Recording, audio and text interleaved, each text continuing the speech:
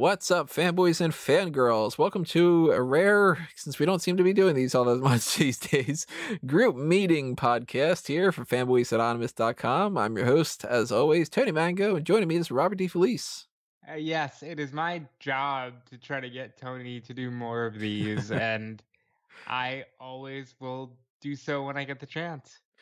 So, before we dive into whatever we're going to dive into, because to be perfectly honest, I don't even know exactly what we're into, uh, I'm going to preface this with a couple little things. So, uh, forgive me for going off for a minute's worth of your time. Uh, what we are going to do here is we're going to run down the things that have happened for the Disney Investor Day 2020, which I have not actually looked into. We're going to get my first reactions to these kind of things. But before we do that, I want to just clear up uh, some of the like plug side of things, just in case people aren't aware. So yeah, we haven't been doing a whole lot of stuff on here, and part of the reason why is because not much has been happening this year as far as like movies and everything goes. Normally, I would be doing at least one review point a month because there's normally at least one movie per month that I'll see, and it's just not been the thing. They've been popping up mostly just a few crappy movies here and there on streaming platforms. And when it comes to something like Tenet, I didn't go see it in theaters because I didn't feel like that was a safe enough thing to do. So I haven't seen it yet. It hasn't come out yet. Oh, we're gonna we're gonna fix that, pal. I'm gonna have to check that out as soon as I can. I did check out New Mutants, but I just hated it so much that I didn't want to do a review point for it. so that's kind of one of the reasons why we've been so absent lately on this channel. And I've been trying to do some more written stuff. So if you are just following us on this YouTube channel or on the uh, Amazon Music side of things, or Stitcher, or Spotify, or iTunes, or Google Podcast, or anything like that, then you're feeling like we're totally absent. Why haven't we been doing fan tracks? Why haven't we been ever? WWE's been insane, and that's been taking up all my time with Smart Moment. But I do desperately want to do more stuff here. So, Rob convinced me to, to do this tonight. I've set aside the time to be able to do this. And if you want to make sure that we do more on here, the best way to do that is to subscribe in some fashion to the Patreon. Now, the Patreon has a bunch of different tiers. Even $1 can actually go a long way, especially the more people that do that. So, if you think that we could potentially give you a dollar's worth of entertainment a month, consider donating. It sounds kind of uh, I don't know, I don't like to beg kind of a thing, but it's like yeah, that could go a long way. Cuz there's also the pick your poison tier, and that is the type of thing that man, if you're like these guys need to watch such and such do a fan tracks, I really want them to do it. That's how you can request that. I know guest five, for instance, has been hearing that I've been having Power Rangers on my mind a lot lately, and he's like, you know, you guys should watch the the Power Rangers movie. If you guys want us to do those kind of things, then then we will. But this is uh, too big of a thing not for us to take care of, at least in some fashion. And it follows up on the last one of these that we did, which was at the beginning of the year. It was in March, where we were talking about some of the film slates and the release schedules that were originally supposed to happen in 2020 and 2021 for Marvel and DC movies. Of course, we thought at that time, ah, this pandemic's going to be like a month. yeah. So that ended up not being the case. Here we are in December, and I'm currently looking at this as being like, yeah, I guess life's not going to get back to normal until like 2030 or something, you know. But um, what we've got going on here is they've announced apparently quite a few things. I know some people have been saying that there's a lot, and I have no idea what it is. So, what we're going to do is we're going to check on some different websites, check on I've got the PDF here of their uh the Walt Disney Company.com's um like their slideshow. Shoot that over to me. I could actually use that. So I'm gonna send that over to you here on Skype and it's going to be one of those podcasts where we don't have a full layout. We're going to bounce around lots of topics and we're going to kind of be a little wow, like you know, but hopefully you guys enjoy it. Hopefully we've got a lot of good things that are coming our way that we'll talk a lot of interesting things about. And I want to know what you have to say about all these topics. So while we're going along here, whatever, if you've got some things in mind, drop a comment below on whatever platform you're listening to us, if it has a platform that has comments on it. And if you're over on YouTube, hit that like button, hit that subscribe button, double check to make sure that you are subscribed, ring that little notification bell, hit the applause button if it's up on there Uh, you know, if you want to join things all over these different things, you follow us on Facebook and Twitter, you do all that. Everything that you do is greatly, greatly appreciated. So, I don't even know where to start, but I'm going to look on this thing on this slideshow and we're going to go a little bit through there. Now, I'm not going to read this information in this presentation, including financial estimates and blah, blah, blah. No, we're not going to do that. I'm already going If to skip ever that. listened to an investor call, it's the standard thing they say at the beginning of everyone. Is that the uh where it's like the really soft voice where it'll be like Yeah. further changes in domestic and global yeah. economic conditions and competitive conditions, health concerns, consumer preferences, willingness to pay for an expense. Yeah, we're not we're not going to bore the whole Exactly. thing like that. I'm assuming the breakdown of this is basically legal jargon, blah blah blah blah blah, TLDR, COVID, Security Act form, uh, released expense, you know, like that kind of sign on the dotted line, blah blah. Don't hold us to any of these things. We might change. Card subject to change, that kind of thing. But let's see what we got here. It says Marvel 10 series, So 10 new series from Marvel. 10 new Star Wars series. Correct? It says Disney Pixar 15 series, Correct. 15 features from Disney and Pixar. Correct. And we got The Mandalorian.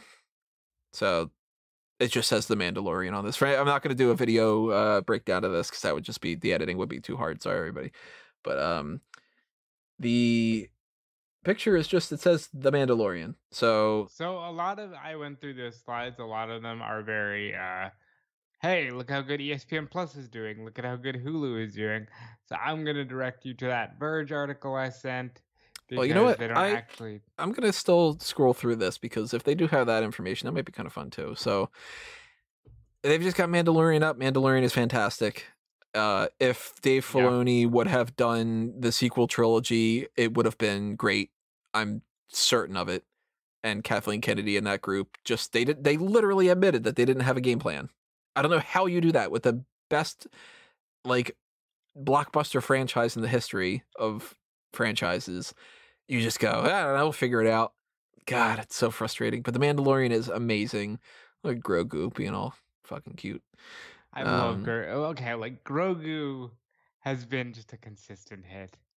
Now, I- thank you. This is uh Thursday night, eleven twenty-five. So the next episode of the Mandalorian hasn't come out yet. But I love how in the first uh the first scene of the last episode, he's just like Grogu, and then he goes, eh? he's like, just kind of like, ah, I need cute. like, okay.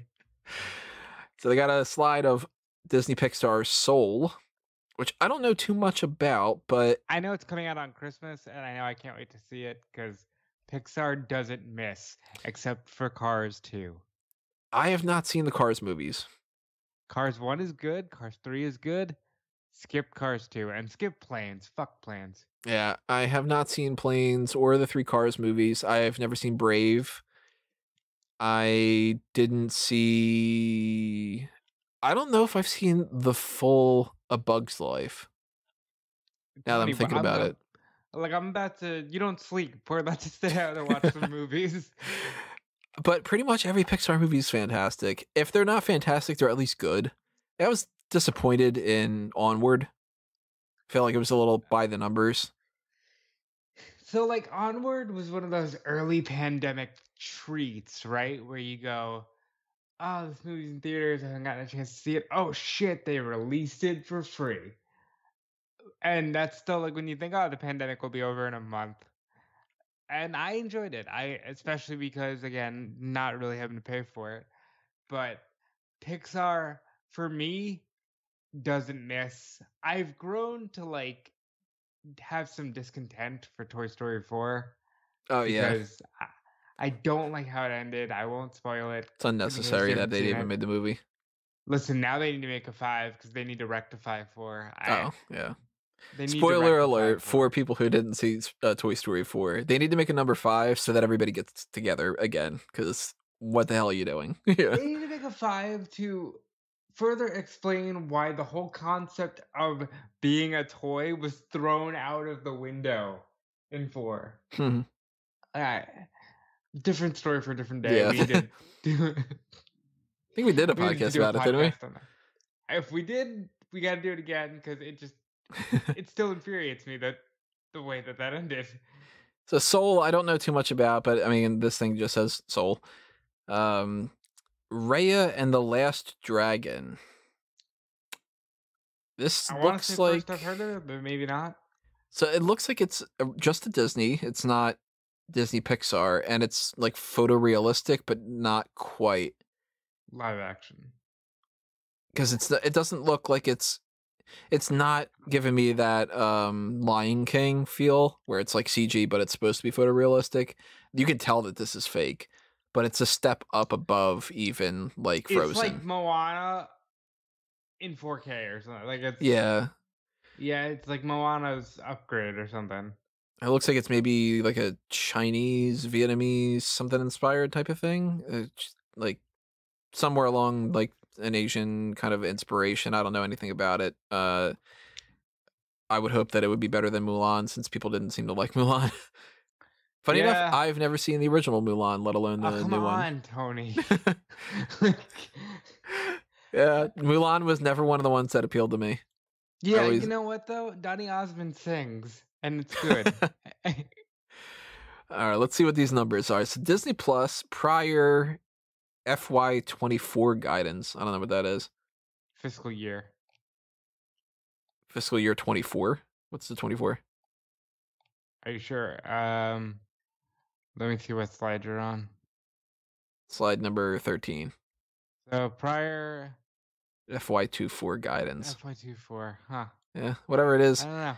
Maybe that's like the before the pandemic or whatever. I don't know.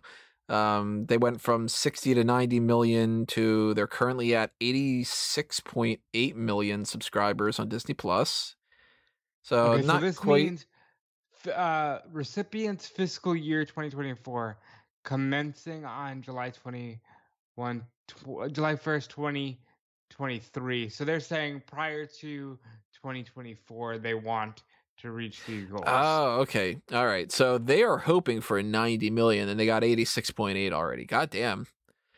That's pretty sweet. That's how you set goals. Yeah. They, they give themselves a four year window to set a goal that they're practically at. That's pretty Imagine nice. that. For And- everything. And you know what though? They'll do that and the stock will go up because people will go, "Oh, look at that. They're doing great." And it's like that makes sense. Instead of saying, "Well, we're hoping that in, by 2024 that we'll have 300 billion subscribers." And you're like, "Yeah, it's impossible. Look at how far much of a gap they've got." Hulu, of course, not doing as well because it's Hulu, but they have 38.8 million and their hope was 40 to 60. So that's why pretty do good. why do people knock Hulu when it's like Hulu and Netflix were the first two? Because Hulu crapped it out, you know? Have you watched Animaniacs? Hulu's got the whole like, well, we're going to charge you to show ads and stuff. Like, they need to retool that. But I I read a little bit into this and I watched a little bit of an explanation of it. So I don't like anybody listening. Don't uh, take exactly what I'm saying for a 100% verbatim fact, but it's something similar to this. Fox owns a portion of it. Disney buys Fox. They get the Fox section of it, but Comcast still owns a portion of it. And by I think it's 2023, they have to buy out their portion of Hulu. Or it'll be like they'll just continue the deal and that's going to be more detrimental to Disney. So 2023, we're going to get a big change with Hulu unless we get it ahead of time. And they're essentially going to reach a point over these next few years where they're going to either purposely cannibalize Hulu and lower their value so that when they buy out Comcast, they don't have to pay as much. Or they're going to hope to make Hulu such a big thing that they make it more than enough money that it's not going to matter. It's one of those two. That's basically what the breakdown is. So, uh, you know how you always make the jokes about me subscribing to everything? You picking up Today Hulu? I found out that there's going to be a par- uh, Paramount Plus. Yeah, they've- that's and- been the works for a little while. Yeah. Yeah, well, uh, today I found out that they're signing on for some Nickelodeon reboots, and I'm like, fuck. here we go again. Yeah, Paramount Plus is the retooling of CBS All Access. All right, I I had that. That was that was one of the very few Tony that I was able to pull myself away from and go, nope, don't need this beyond the free trial. Thank you. Next, but like Yeah, it's I'm gonna have to subscribe now. I hate it's it. going to be looped into that because they realized that people weren't really subscribing to CBS All Access. It's something like, if I remember correctly, they're like they want obviously like the 18 to 49, and the majority of the people that watch their stuff isn't. So it's kind of like you're not going to get like I mean like some people are going to sign up for it just because they want Big Brother, right. but how many people are watching Big Brother anymore to be able to sustain a whole service? And people that are into like I think it's called Love Island. yeah, that's like, the thing. Eh, I'm assuming that they watch that kind of like the trash TV type stuff because it's just on and they put it on in the background. They're not going to really subscribe to a service for it. So they figure let's loop it into Paramount Plus and you know whatever. And now Disney is like it's Disney Plus, ESPN Plus. We're going to do whatever plus, this plus plus, minus plus. You know, that kind of thing. But Hulu seems like it's doing pretty well. ESPN Plus is at 11.5 when their goal was between 8 and 12. So that's doing pretty damn well too. Disney's killing it, despite the fact that they have no movies coming out this year and had to shut down their uh their theme parks. Yeah, but that's of course they're hemorrhaging money there. Yeah. So I'm sure they're not doing tremendously well. It's just that they're very lucky. Here's a bunch of subscriber stuff, 15 additional countries, nobody cares, blah blah blah, you know. Michael Paul, um so this is iOS, Fire TV, Google and Roku.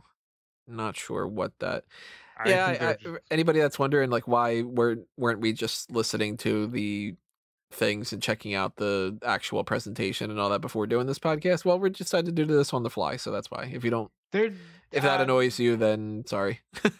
Uh, Uh, don't worry. By by page seventy five, we start getting into the good stuff. but uh, this is explaining all the platforms they're on. How do you feel about uh, Fire TV? You have a Fire TV, right? I do, and from my experiences, it seems like it's the best out of the three that they've got going It on here. remarkably the best, even as opposed to just having a smart TV. I wish I just had like a built-in Fire TV. It would save me an HDMI port, Mhm. and Fire has the best apps. Yeah, I I had a Roku TV for about two days and returned it because I was like, the volume is garbage. And it was literally the Roku side of things. Like Netflix wouldn't work right. I I had to turn up like the volume to like 80, which would normally be five on my Fire TV. You know what's interesting is I have a Samsung TV in the living room that has that issue. The one in my bedroom works fine, but the one in the living room, you got to put it on like 70 to hear anything. Is it a Roku? It's not a Roku. It's just Which one is it? it's a Samsung Series 8. And I have a Series 6 in my room and you would think 8 would be better, but no, it's the sound on it is really messed up. So yeah, Disney Plus, ESPN Plus, Xfinity X1. We don't need to talk about Xfinity. Are you sure? Yeah. Hulu, Disney Plus, and ESPN Plus, the Disney bundle, twelve ninety nine a month. That's a steal. It's not okay. Look, I'm a spoiled brat who can't deal with ads when I want to actually put on Hulu, so I don't go for that.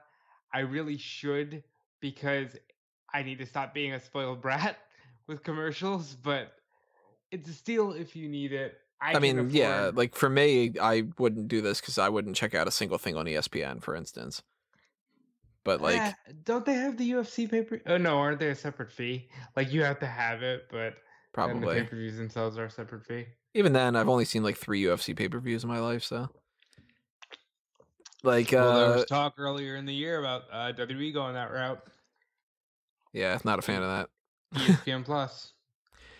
The like if I had like you know a family where I would do that, I would totally get this bundle thing and be like, all right, the kids can watch Hulu and Disney Plus and whatever. We got Canal Plus, Movistar, Tim, Jio, uh, blah blah blah. Let's go here. So we got Disney and Fortnite. I don't play Fortnite. I still don't even know really what Fortnite is, to be honest. I I, I have- promise I'm not 50, you know, but it's like I have watched children. Okay, I promise I'm not 50. I have watched kids play Fortnite, and I look at it and I go, "Yeah, I don't get it. I don't understand it. I love video games, as you guys will know, but I don't get Fortnite. it's like a multiplayer shooting game, right? Like It's like a battle royale, like a last man standing kind of thing. I just don't understand it, like it, because they just throw you right in the game. Hmm. And I, I don't know. It's it's for the kids anyway. God, I'm old. Disney Plus Hotstar. Now Hotstar, I read something about. That's their like their Indian equivalent or something. So it, it's looking like. So they have offerings in Europe, Canada, whatever ANZ is, A and Z, and Singapore, and they have Star Plus for Latin America. Now this is like they have a lot of nice things on here. I'm seeing like The Shape of Water, you know, it was a good movie. decent movie. Wouldn't watch it a second time, but uh, One movie of the year. uh, Europe, Canada, Latin America, blah blah blah. We got some Hulu stuff, Hulu subscriber growth. I don't think anybody really wants us to get too deep into some of these things. I'm sure everybody's good. Like talk about Spider Man. Tremendous growth over the last three years, though. Yeah. So they're doing good. FX on Hulu. This might be a big one because this is where they're going to start. Because they got a lot of things. They got the Fox catalog, and you can't put that on Disney Plus when they're more adult oriented, and you can do that kind of crossover. So you need to put that somewhere, and Hulu is where you're going to put it. Have you watched Legion? Yeah, I wasn't a big fan. I haven't seen it. Would you recommend? No, I only watched a couple episodes and I stopped watching it. What was that other one on Fox? Uh, was it Gifted? Yeah, I never even saw that one. Huh. Didn't watch the Runaways either, and I um was that one on Cloak? Was it Cloak and Dagger? Cloak and Dagger. I watched the first couple episodes, and then I just didn't watch a couple. And the next thing I know, the whole rest of the season went by, and I'm like, ah, that's a lot of work to catch up, you know. And then by the time I was thinking about catching up, they were like, all right, it doesn't matter. We're already rendering all the TV shows, not continuity anyway. And I'm like, all right, well, now I now I don't care, you know. Hmm. See what this says. Add innovation and experience. Oh, bullshit. They're going to start doing this where they're going to have like Oh wait, so this is just for Hulu, I guess. This is for Hulu. All right, I thought this was going to be like on plenty of other platforms and everything. This they're is trying why I to pay the thirteen dollars a month to not have these. ad stuff. You shouldn't pay anything and then have ads. It just shouldn't be the thing. Hold on, I want to draw your attention to the Smile Direct Club ad. It's the middle one on the bottom. Do you see that shit? Yeah. Where it's just like send the information to, and it's got your phone or your email. It's like, are you fucking no? QR code.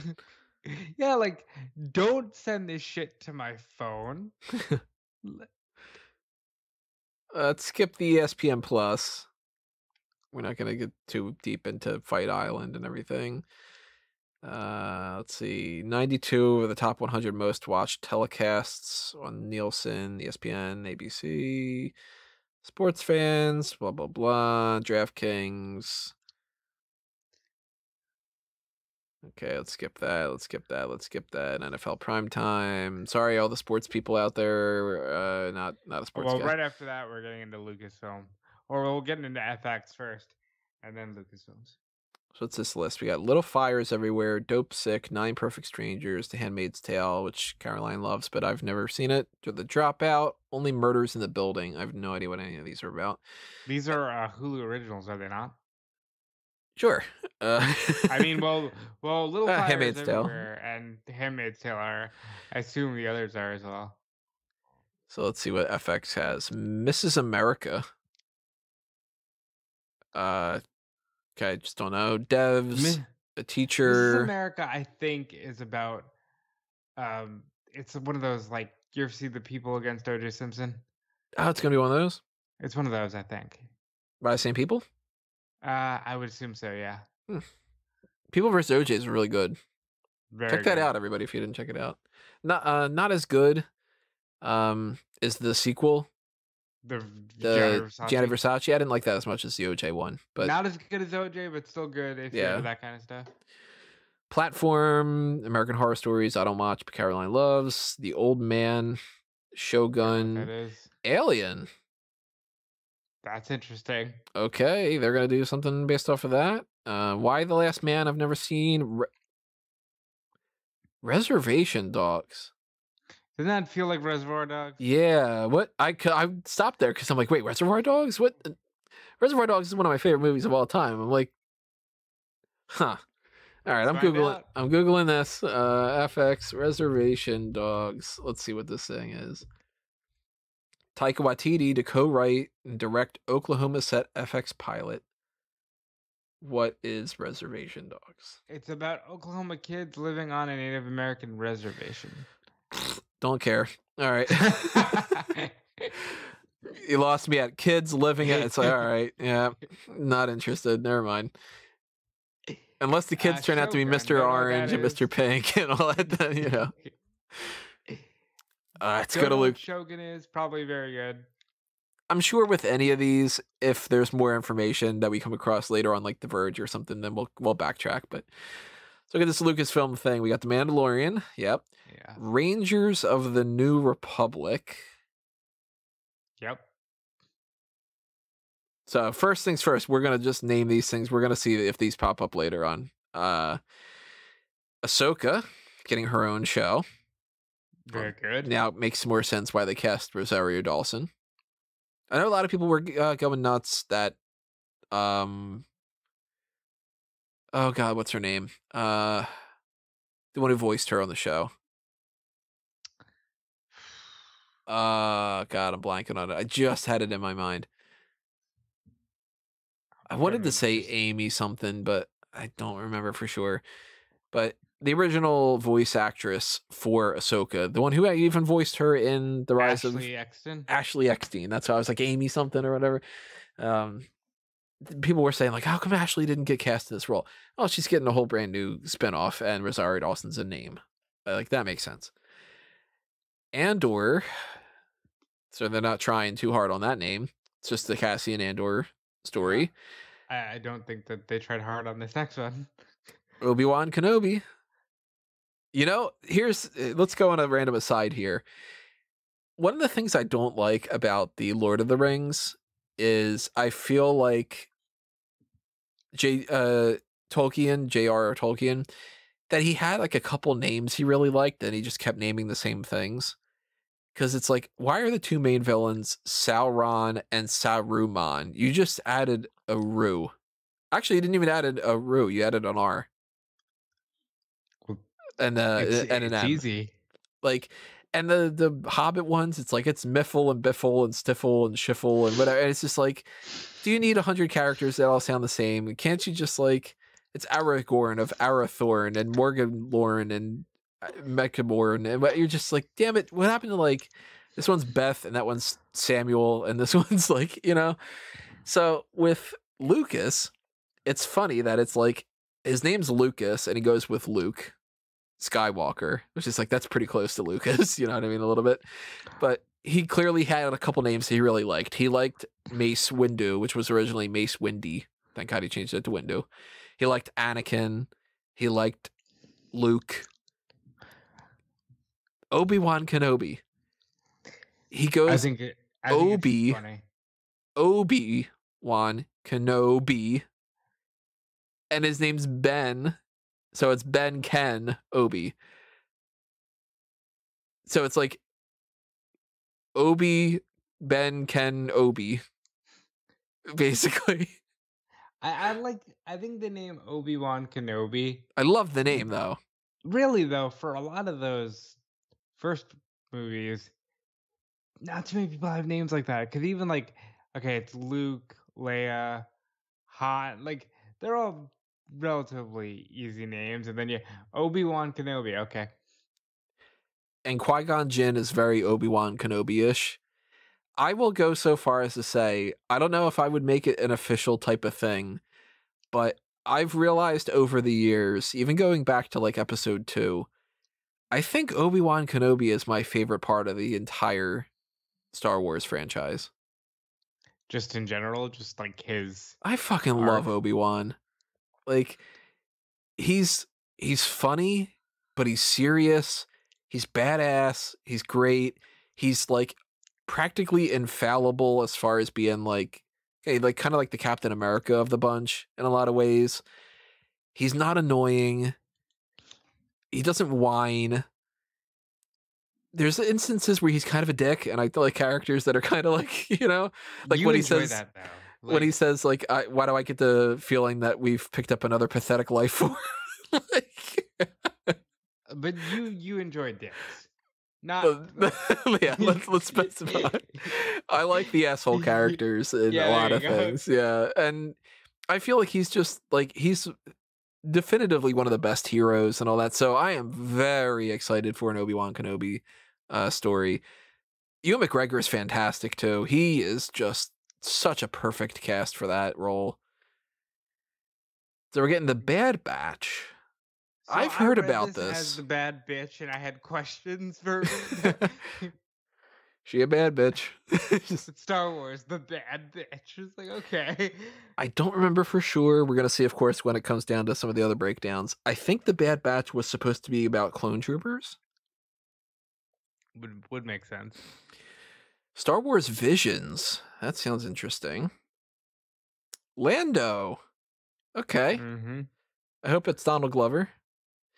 Oh my god, yes. Star Wars The Acolyte. No idea. Let's see. Um Star Wars A Droid Story. We're not trying too hard here, folks. Uh it's like what's this one? Ah, it's a droid story. What do we call it? That. what do we call the Cassian Andor one? Andor. What about the Ahsoka one? Ahsoka. what do we call the- Obi Wan Kenobi? What do we call the one about the the stormtroopers? Uh, we can't just call it stormtroopers. We got to call it something else. I don't know. Bad Batch, whatever. We got Rogue Squadron. I always liked the name game. Rogue Squadron. Yeah, game is fun too. So I don't know what the, of course, what the they're gonna track and whatever. And we got Willow. Never seen Willow. Not my type of thing. Not into the Worth whole like. noting, Um, Willow is the only thing here It's not Star Wars. that doesn't have the Star Wars logo on it. Then again, Lucasfilm doesn't really have a whole lot of other things that they could be going from, you know? So that's not too surprising. Rangers of the New Republic. That's got to be a spinoff of those kind of characters that we had seen in The Mandalorian. Like, they're going to track the New Republic hunting people down and stuff. It's got to be something like that. It seems like an interesting take on Knights of the Old Republic, Yeah, that's Which true. which is like, you know, it was they're very popular. I it's still popular. Uh, this may be me thinking too hard, but like Knights seem more old timey, use swords. Rangers, new, use guns. here's my theory before we get into these. All right, but we obviously we know Cassian Andor's the you know Andor, Kenobi's Kenobi, Ahsoka, whatever. I think if I remember correctly, the Bad Batch is about star uh, stormtroopers. I'm thinking Rangers of the New Republic has what's her face from the Mandalorian, um, Gina Carano. I'll I take th- it. I think that they introduced this thing now of her being like the the leader of the town, like the sheriff or whatever, and coming back to the New Republic. I think it's going to be about that. Lando, of course, is Lando. Droid story, maybe it's R two, maybe it's three PO, maybe it's Based on BB-8? the color scheme, it looks like R two. looks more like R two. R two and three PO as a movie or series would make more sense than like BB eight. The acolyte, I would assume it's got something Sith related. And Visions, maybe that's kind of their equivalent of like how Marvel wants to do the what if. Maybe Star Wars Visions is like an animated thing about the future and the past and different versions of things. Maybe it's like it. Ezra Miller, uh, Ezra Miller, Ez, Ezra Bridger, not Ezra Miller. Uh, let's see. Well, again, with any of these, we're gonna read more into them. So we're just going through this uh this slideshow first. We're kind of almost on the slideshow part. From a wrestling perspective, which one of these takes Sasha away full time? If she's in any of them, I would assume she would just pop more up in the Mandalorian. It'll. I'm curious because it's only a matter of time. if you had to pick one of these, not knowing exactly what any of them are, and you can only watch one of them, let's ignore Mandalorian because, of course, that's great. But If Which I'm- like, one if would you I'm watch? it on the logo or something? yeah, and you know what little we Ah. know, like obviously Ahsoka's Ahsoka. It would be Lando or Ahsoka. It'd be Kenobi for me. Uh, Depending on what a droid story is about too, because if it's just like R two and three PO, maybe that. It's just like there's no dialogue, and it's just R two walking around, just going like, "Ooh," getting all sad and stuff. I I'd take it. I'd still watch it. Why not? You know, it can't be worse than uh, Last Jedi, right? Um, National Geographic. I don't watch National Geographic. They got uh, Oh, something about Jacques Cousteau. I'm assuming Genius, Martin Luther King Jr. Secrets a of the Whales. Life. Not sure it'll be as fun as the fake book. America the Beautiful. Welcome to Earth. Is that gonna have uh, Will Smith beginning of it? Welcome to Earth. Disney Television Studios. The Mighty Ducks Game Changers. Okay. I like it. Okay. I have not seen the Mighty Ducks in a long, long time, but I remember thinking that those movies were great as a kid. Not great enough to own, but I did really like them. Now I'm having flashbacks of Knuckle Pucks and uh Goldberg and all the the gang there. Hopefully they can bring more people in from before. They got to have Gordon Bombay and oh god, was Joshua Jackson? What was his character's name? Yeah, whatever it was. You know, they got to try to get as many of those people as they could possibly get. Turner and Hooch. Ducks in like probably I was still in single digit ages. Yeah, it's been such a long. Uh, we're talking over a dozen years at the very least. Probably I haven't seen them since I was like 15 or something, so half my life ago. Turner and Hooch, not at all surprised that they would do a reboot of that. The Mysterious Benedict Society. Well, the name sounds boring, but I don't know what it'll be. With anything, you never know. I mean, if you would have told me that one of my movies that I think is amazing is The Usual Suspects, I would have been like, that sounds boring as fuck. Uh, Big Shot, don't know what that That's basketball related, obviously. Uh, that makes sense. That's got the the It's got backboard. the and backboard and it's got the word shot in it. Yeah, probably not gonna watch that out. Uh, let's see, Disney under this Hocus Pocus two. Never saw Hocus Pocus one. Really? Yeah, not one of my things. Never Ca- thought that I would really like it. Ask Caroline what she thinks of. I'm sure she loves it. Yeah. Same with like she loved Labyrinth as a kid. I'm like, yeah, that's not. I'm never watching that.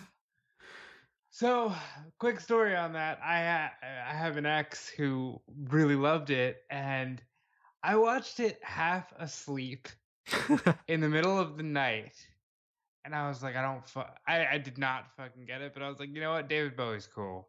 So like, I objectively, I'm like, good movie because Bowie is good, but I don't, I didn't get it. so they're doing reboots of Three Men and a Baby. And Disney Safety, don't know what that is. Cheaper by the Dozen, and Night at the Museum, and another Ice Age. Never Diary saw. Wimpy Kid. Is that a reboot or is that a series or what's the deal there? I'm assuming probably a series. Never saw it though. Uh, Night at the Flora Museum. and Ulysses. Don't know what that is. So I've seen the first two Night at the Museum movies, and I, I have one, the third one on the back burner. I'm gonna watch that at some point. They're pretty decent. You know, not fantastic, but they're. You get what you're hoping for out of the Night at the Museum movies. Yeah. Did not see Cheaper by the Dozen, but they made a couple of those, so I'm sure that they would have been good enough for I people saw the really newer ones with like uh what's his name? Steve Steve Steve, Steve Martin? Yeah. Martin's great. So Martin's fantastic. if they've got him a part of this, then maybe maybe I might check out the movies first and whatever. Didn't see Ice Age, so Ever? nah, can't Any comment on those. haven't seen any of them. Oh, Tony.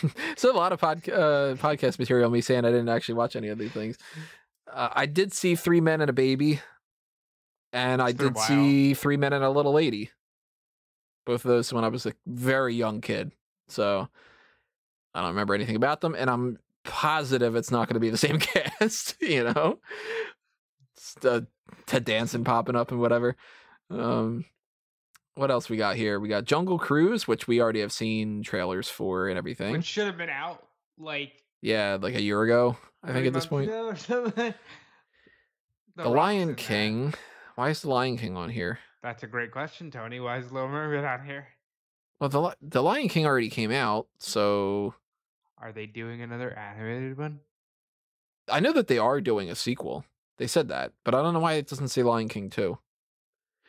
Little I- Mermaid. Now, Little Mermaid is one of those ones that I never really loved. I do see a lot Yeah. of value behind it though. Like you can't be a kid around that time frame and not like Under the Sea. You know. Yeah, I was gonna say like I don't like the Little Mermaid, but I'll sing that fucking song every single time. Great song. Kiss the Girl's a fun song too with that whoa whoa and all that, you know.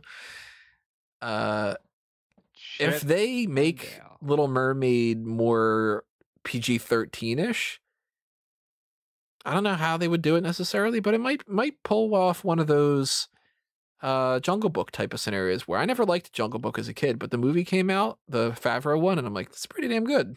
So I'll check that out. Chip 'n Dale Rescue Rangers. Chip 'n Dale was kind of fun as a kid. Never one of my favorite things. I don't think you can miss unless you just completely deviate from the original. Yeah, if you make it anything close to it, kids are gonna like it.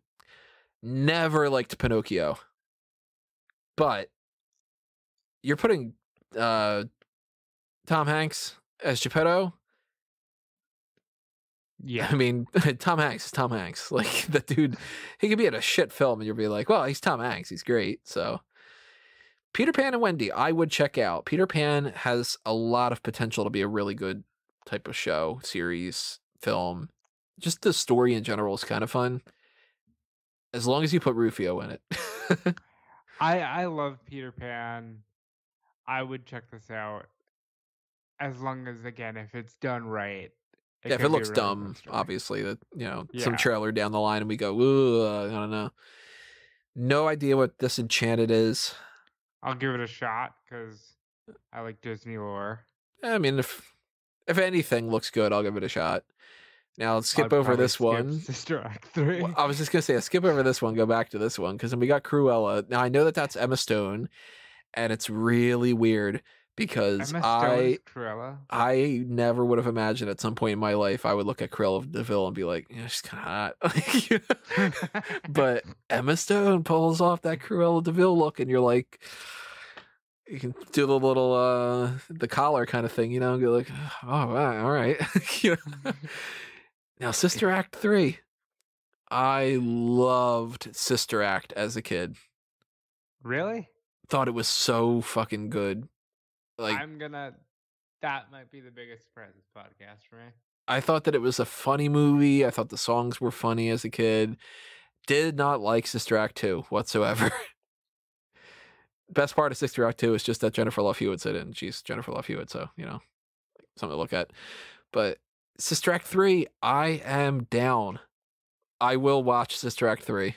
So apparently, because we still haven't gone through the Verge, the Verge article that might explain more of this, uh, Whoopi Goldberg is uh, returning, Oh, you have to. I mean, and Tyler Perry is producing. I haven't seen any Tyler Perry stuff. I've seen him in things. Hold on, ever? Never seen like a like a Madea movie or But you haven't seen like any, like not an episode of something, not a movie, I don't think so. huh? Now I, I'd be a little worried, but I think they can pull this off. I'm trying to remember what her cla- uh, character was. It was something like Sister Mary something. Uh, who? Uh, Sister Mary? Clarence is her name. Okay. Yeah, I I'm down for a Sister Act three. Hopefully, it's good.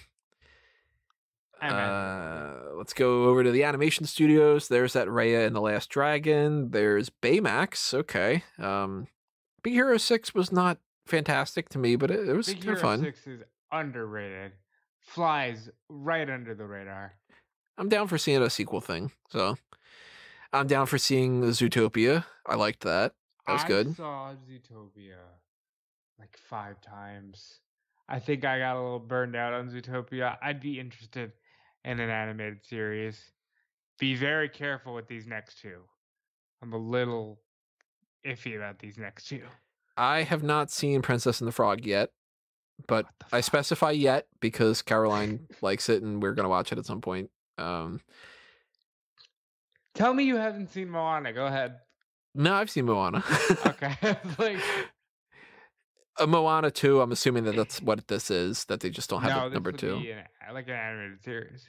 Oh, Uh, well, I'm assuming so anyway. Like Well- I, I have no interest in seeing Hmm. a movie about just Tiana. I assumed an animated series. I'd watch that. so if these are series things, I can't imagine I'd be watching them.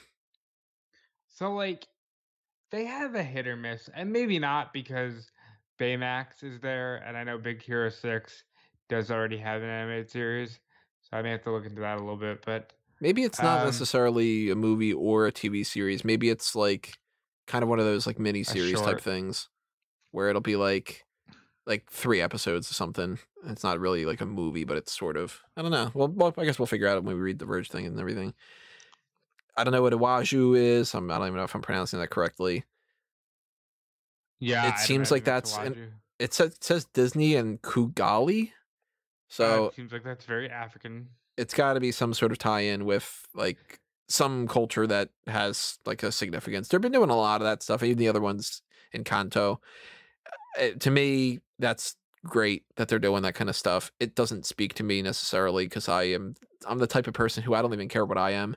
You know what I mean? Like people are like, oh, like Disney. what eh, part of the country is your Italian history from? And I'm like, I don't know. Like it's just, but it's good to have representation of those things. Yeah. So I am never going to be disappointed to hear that they're doing something like that, even if it's something that I'm not all that into. Like Moana, I didn't care. Like What didn't you care about? It you get into like some of the, you know, this is going to be a, the Polynesian thing or whatever. I'm like, okay, like whatever. What's the story? Tell me the story. Like nothing's going to grab out to me by saying it's from this culture or it's from this whatever. It's always going to be to me, well, what's the story? So you know? like wh- what I will say, and I agree with you completely, that like even when things don't speak to me, I, you know, I'm glad that the representation is there. I will say it's very cool when you see the reaction Yeah. of those that it does speak to. Like Black Panther was a, a fucking like Phenomenon. movement. It was almost like religious, you know, and that was cool. Yeah. And that's like that, unless you're a horrible person, that should always make you feel good, you know? Yeah, don't be a horrible person, please. Yeah. So it's like for me, like Tiana is not for me. It's not for a straight white guy in his 30s. you know what I mean? But uh, even a straight white guy in his 30s, if the story's good, shit, I'll watch it. Of course I will, you know? And um even if it's not for me, whatever, if some little girl out there is like, wow, this is the coolest thing in the world and I could grow up to be a princess, that's great. So Hell nothing yeah. at all bad about that. Here's Pete Docter, name spelled differently. Um, we got Soul, we got Dug Days. So Dug is from uh, Up. Up. I don't trust this. I don't at all because to me, Up This is is one of the most overrated This- movies. Uh, hold on, sir. Up is fantastic for 10 minutes. And the rest of it, you don't even need to watch. All right. But yeah, after that, those 10 minutes will make you They are feel feeling. they are heart crushing. They are terrible. I tried to watch that. I've like I've been getting more and more sentimental over the years to a disgusting level. like I can I get teary eyed watching some old episodes of The Simpsons, even like the one where Bart, uh, where Homer thinks that he's going to die from eating the bluefish or the blowfish, not the bluefish. Eh, It was bluefish, maybe whatever it was. Um, and he's like saying goodbye to the family, and he passes out on the chair and whatever. Like last time I had watched that episode, I'm like, oh god, I'm getting teary eyed. What the hell's happening here? Like, and since Caroline and I got together, I've gotten even worse with that kind of stuff where it's just like now when somebody does like I see a commercial on TV and it's like, oh, don't you like love your wife? And it's like, oh God, I get it. Oh no. like, why am I feeling this? I a couple months ago, on a whim, was just like, I'm gonna watch the beginning of Up. you can do it. I fucking turned it off. I'm like, no, no, no, no, no, no, no, can't do it. Not watching this. I got to the part where she stumbles up the hill, and I'm like, exit, exit. No, I'm not crying tonight. Like I kind of think I'm just like, no, no, no, no, no.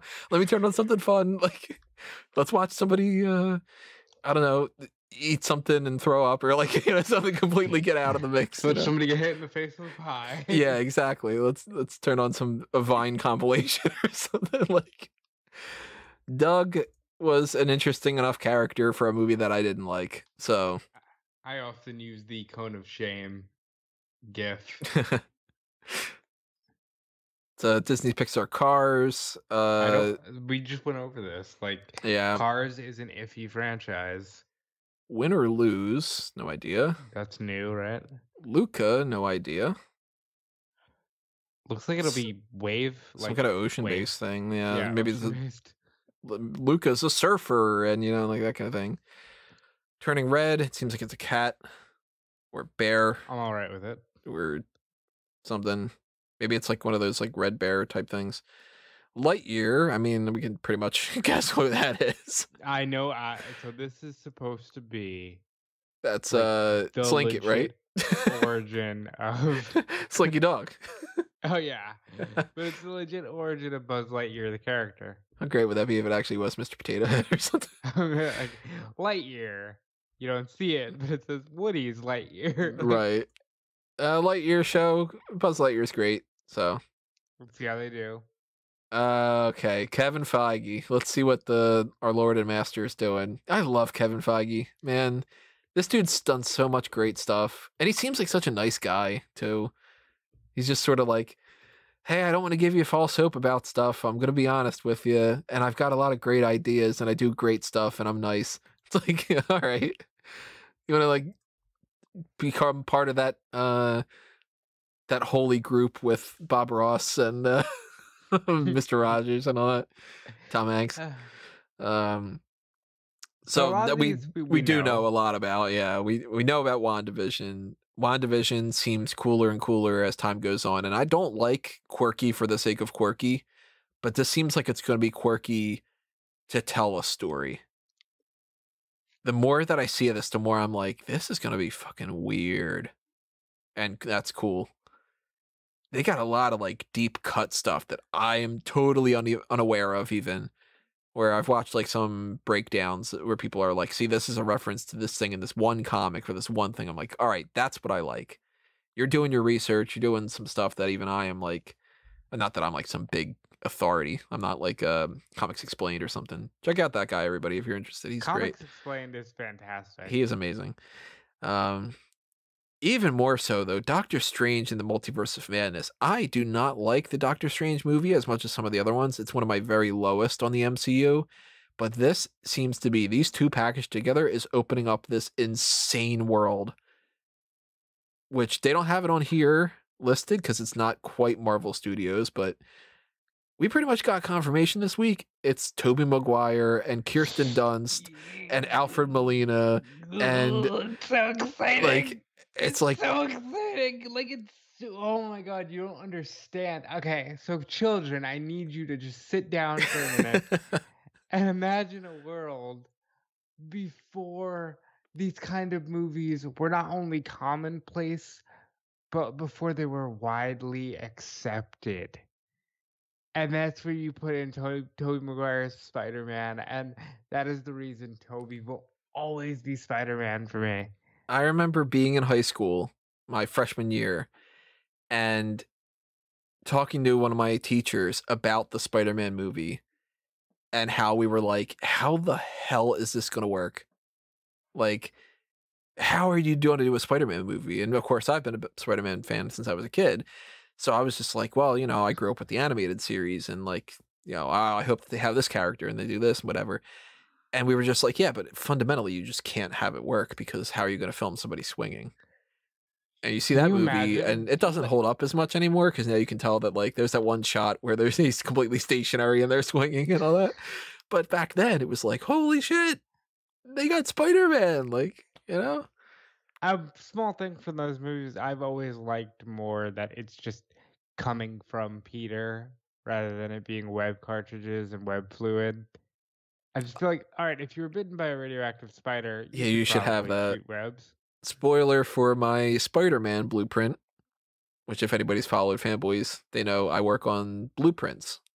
Who knows what's going to happen with these? But my blueprint ideas are try to cram as much of the history of a character in with as little amount as you possibly can drag it out for. So, uh, long story short, like the entire history of like Bane versus Batman takes place over like two stories. There's three Mr. Freeze stories, you know, that kind of a thing. Um, my Spider-Man thing, at least in my current draft, he has organic webs and uses a web shooter to be able to actually shoot them out. So it's I- a like combination of the both. I always thought I that really like do enjoy that. Yeah, I am. I'm so pumped for the Spider-Man thing. Now we know that uh, Charlie Cox is going to be Daredevil in it, so it's like you're getting Daredevil to be the lawyer for Peter Parker. Ah, Like, One of the better uh, storylines on the animated series as well. if you, I swear, if you took the MCU and you showed it to like eight-year-old me, I'd probably just like explode because I would just be like, "You mean to tell me that there's like a cool Captain America?" and Iron Man and Thor is interesting because I never liked Thor. And Thanos is in a movie and like oh and just be like, what?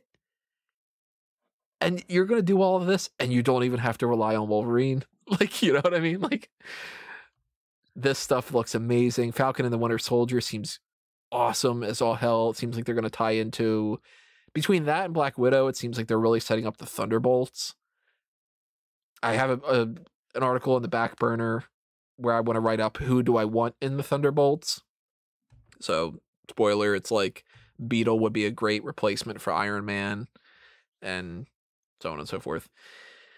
Loki seems cooler and cooler here and there. It seems like they're going to make Enchantress basically an alt world female Loki, which I always liked the idea of. That's actually in my Thor blueprint. So, And Loki is one of the few characters that making playing with the gender and stuff like that, I think works. yeah. Very interested in the what if because that's going to be all stories of like, hey, what if uh Peggy was Captain America? Well, she wouldn't be Captain America, but you know. 616? No, I haven't uh, been able to find that elsewhere yet, and I um Oh my god. I haven't bothered to I'm sign up for Disney Plus. Give you my fucking Disney Plus, you lazy son of a bitch. Like ah yeah, I. I might sign up for it. I might whatever, but it's it's on my list of things to watch. Then again, with WWE taking up so much time, I haven't had the time to watch a lot of things anyway. But uh, I'm I'm interested in that. What if seems like that's gonna be fun. Shang Chi was never a character I was that super into, but you know what? When has Marvel gone wrong with these? If the worst movie is Thor: The Dark World, and it's still got a lot of positives to it that you can bring to the table, yeah, I'm down for Shang Chi. I was guaranteed, like, there's no way Guardians of the Galaxy is good, and it's one of the best. Oh, there's no way Ant Man works, and it's fun. Shang Chi Guardians just is the one where people went, All right, fuck it, they can do anything. pretty much, yeah. Like you got you got me to care about a tree and a raccoon.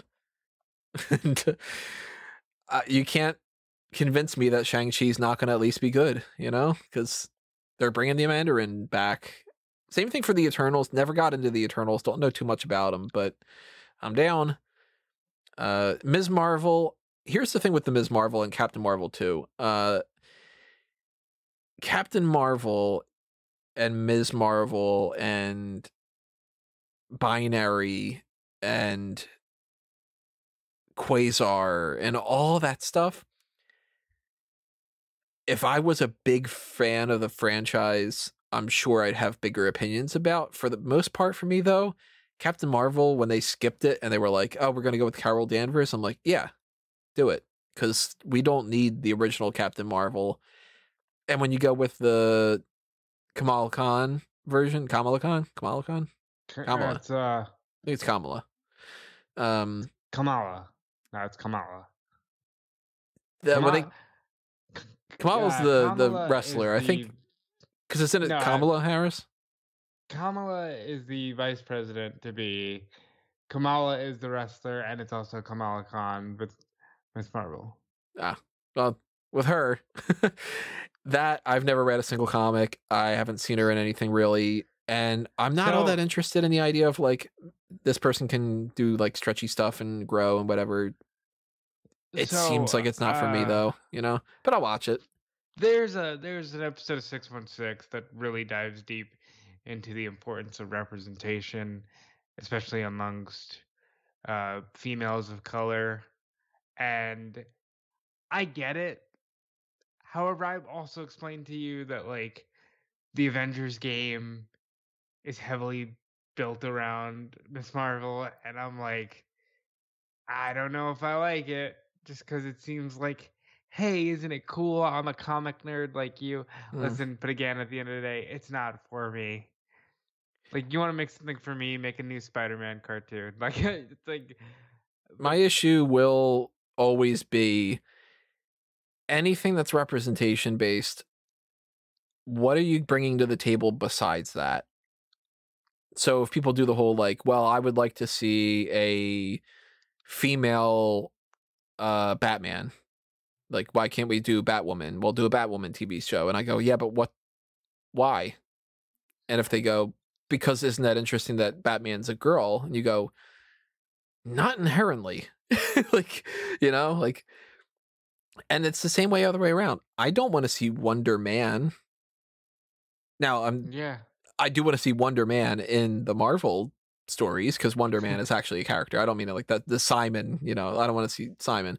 Um, but like, I don't want Diana Prince to turn into Wonder Man because to me, it's Wonder Woman. And tell me a good Wonder Woman story. I will gladly go see a great. Uh, I mean, Captain Marvel. I was like, all right, cool, yeah, go with uh Carol Danvers. That makes more sense than the original Captain Marvel. And something like She Hulk. I've never liked She Hulk. Because it's just It's just what if the Hulk, Hulk. was a girl? Now they did make the character have some different things over the years where like she could break the fourth wall and she's a lawyer instead of just being a scientist or something like that. But to me, I'm like, but what's the story? And I'll watch it for sure, guaranteed.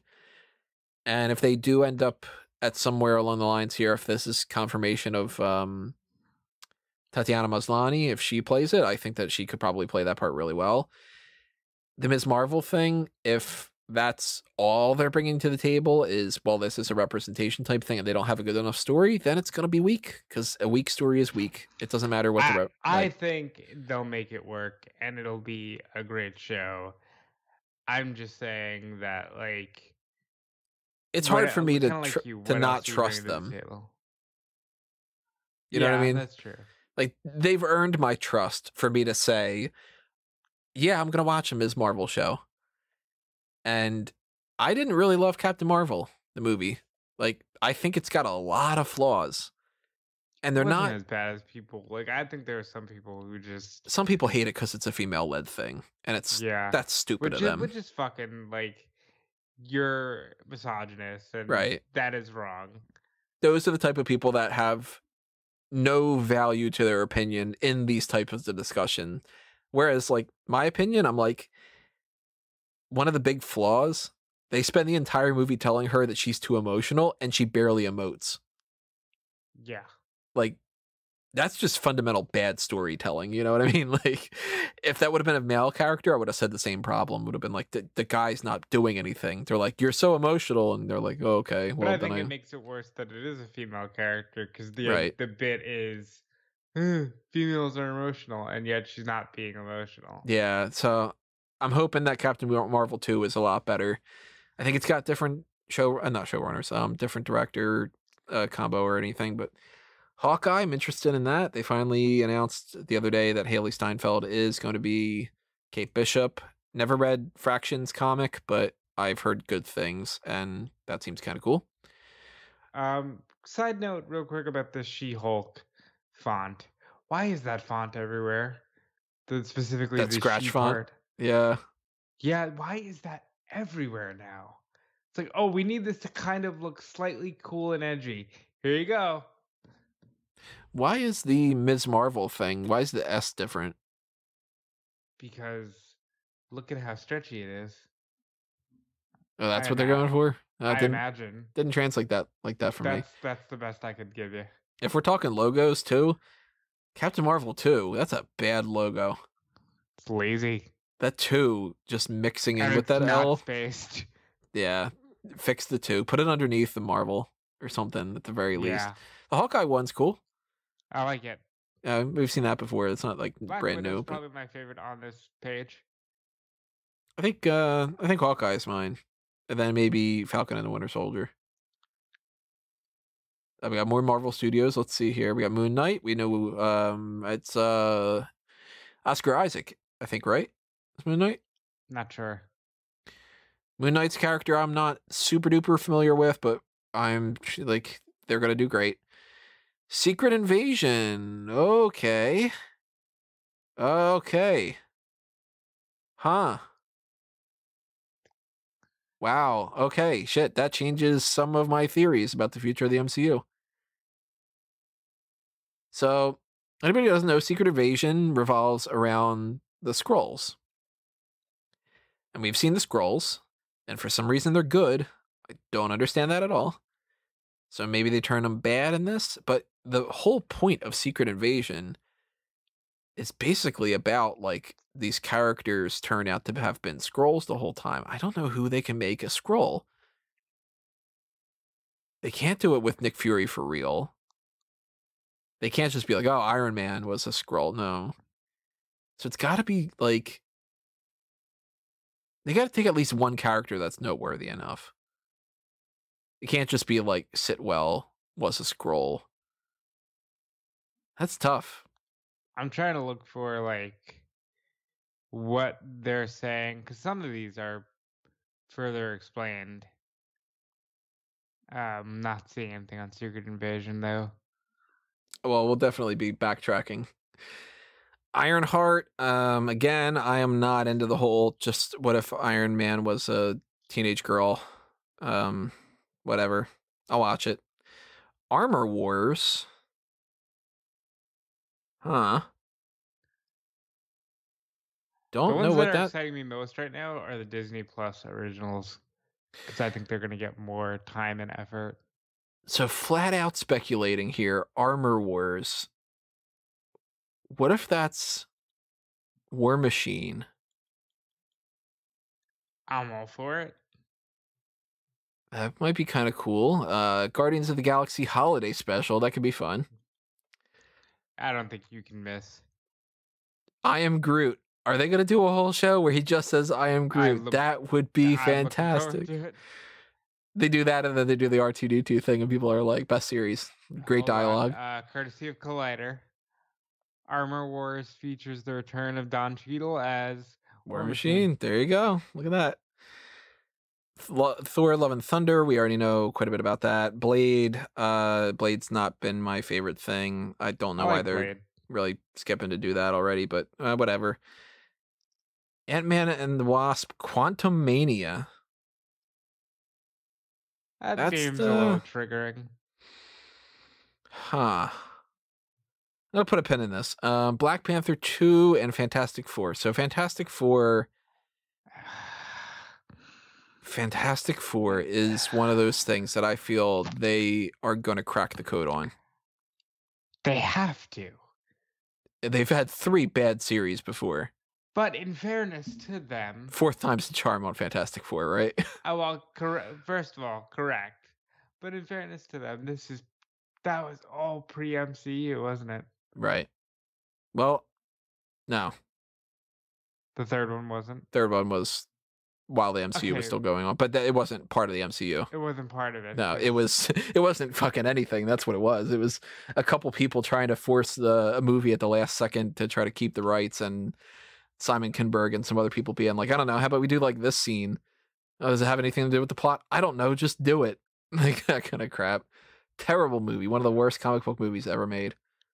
You ever see the '94 uh, never released one? But yeah, it- honestly, that one's pretty much a better constructed movie than a constructed movie than uh the most recent one, the Fan Four Stick.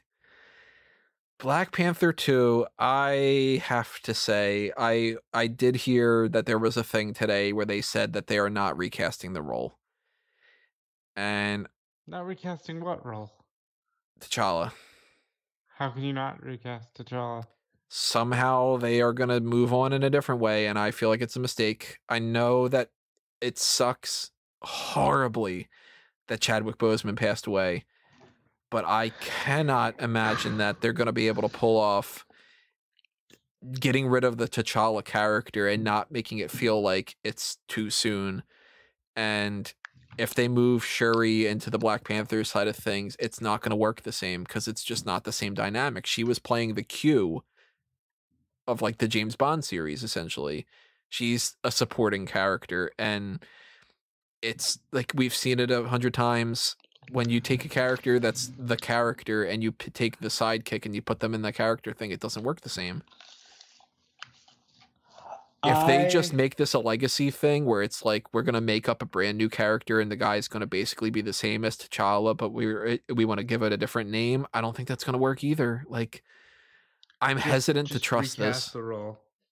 I really think that they should, and Okay, so it's not like uh, they haven't made mistakes before. So it's I trust them in a lot of ways, but they have made mistakes. Look at what they did with the fake Mandarin. You know, so we talked earlier about it being a religious experience for people of that culture, and I I, get the hesitation behind it. You know, but like, it's still a movie. yeah. at the end of the day. Recast the role. That that's my take on it. Now Ant Man and the Wasp: Quantumania. uh, For the, we knew we were going to get a, th- a third Ant Man, and I was always wondering what the hell are they going to call it? Because if you go Ant Man and the Wasp, it'd be weird to be like Ant Man and the Wasp and the whatever. And I actually did think for a little bit of time that they were going to call it Ant Men and the Wasps.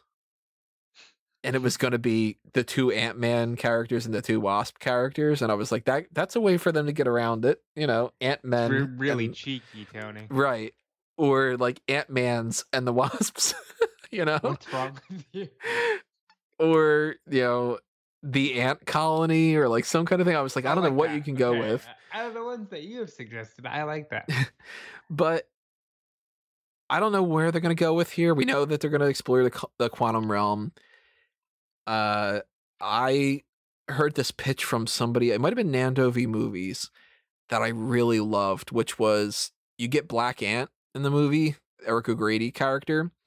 He's a thief and he used to be a, a member of the Shield side of things and that you would make a movie where it's about kind of like another like an evil Ant-Man essentially, but not in the same way as Yellow Jacket. I don't know how they'd really necessarily pull this off. I know that there's rumors that MODOK might be the main villain, which is insane to me that they can eventually do MODOK in a movie. I don't I know how hate they pull off MODOK. Can I be like real? I hate MODOK. It's just a is- disturbing yeah, looking it's fucking thing to me. I hate it. I love and I hate MODOK because MODOK being a character of like this weird creature that's the head of AIM and it's a really good like you can use MODOK to be like a driving force for things is great. But what the fuck? like, you know what I mean? Like I don't know how they're gonna do it, but Quantumania. I don't like it. Like I said, it's kind of triggering for me. Quantum Mania. Yeah. I don't like the word mania. Mania has one meaning to me now. Maybe Vince McMahon's gonna be the one. Uh, Welcome to Quantumania Three. Like, I gotta, All right, now we're gonna do that thing where he goes inside the guy's ass and expands. yeah. We got a little slide here. At Bob Iger, uh, Disney Plus, Christine McCarthy, et cetera, et cetera. Total paid subscribers, Hotstar, whatever paid subscriber Outlook. We had a little uh, glitch to here with our um, recording, but we are picking back up where we left off. We were looking at. I scrolled through a little bit. Um, they are bumping up their price for Disney Plus a little bit. Yeah, Uh, not I'm too not- much. You know, I'm not offended by it. I I never like when they bump up the price for things, obviously, but at least it's not some egregious, you know, to hack uh not hack, uh hike up like some crazy amount. Interesting about their paid subscriber outlook last year, uh, April 2019, they were like, "Hey, maybe by 2024 we'll have 90 million." Now they're like, "Yeah, we're shooting for 260 million."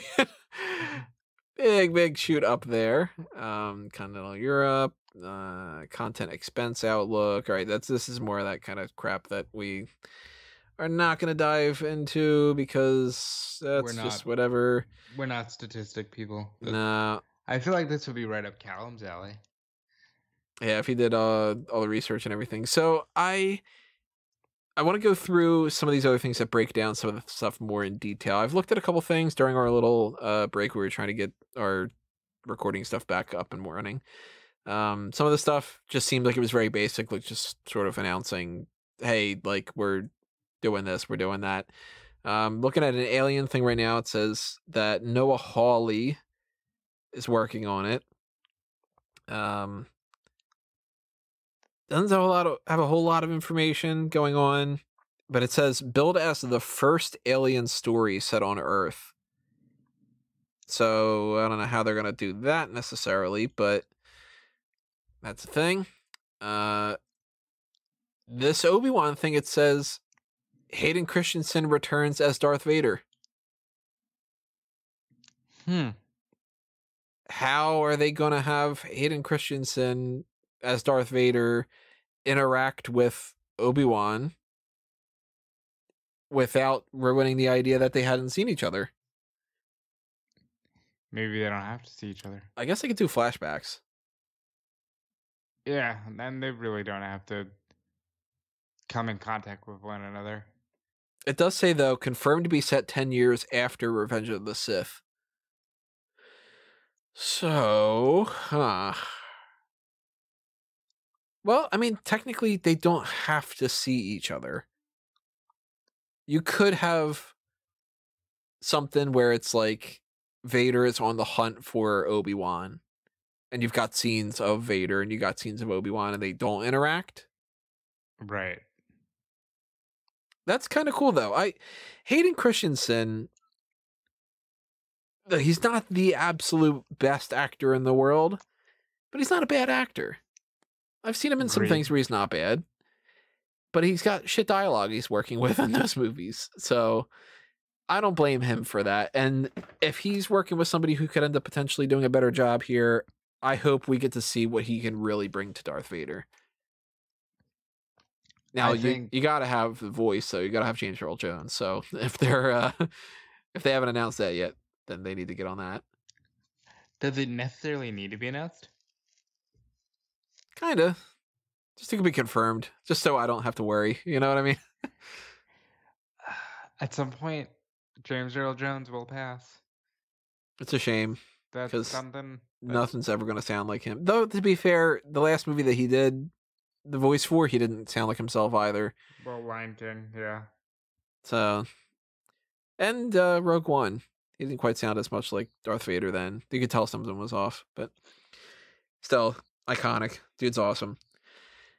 Let's see some information about some of these other ones here. We got um, Rogue Squadron movie coming from Wonder Woman director Patty Jenkins. So she's helming that. Okay. I think Wonder Woman is overrated. I have read the script for Wonder Woman 84 and I think it's garbage. Um, It comes out on Christmas. We only have two weeks. I'm going to see it, of course, and I'll figure out if it ends up being the right script or not. If that's the do script, Do you have HBO Max or do you have somebody's HBO Max? I might sign up for it just to give it a try or something. They'll give you a free something. Uh, so I don't know about Patty Jenkins. I don't remember what else Patty Jenkins has done. Let me Google her real quick. Um, because I think I've seen something of hers that I I liked quite a bit or something. I forget what it might have been, but somewhere along the line, I remember thinking like, "Oh, Patty Jenkins doing a Wonder Woman thing. This should be kind of interesting or whatever." And of course, now Firefox is completely frozen for me. Uh, So let's see here. Uh, she is, yep, still frozen for me.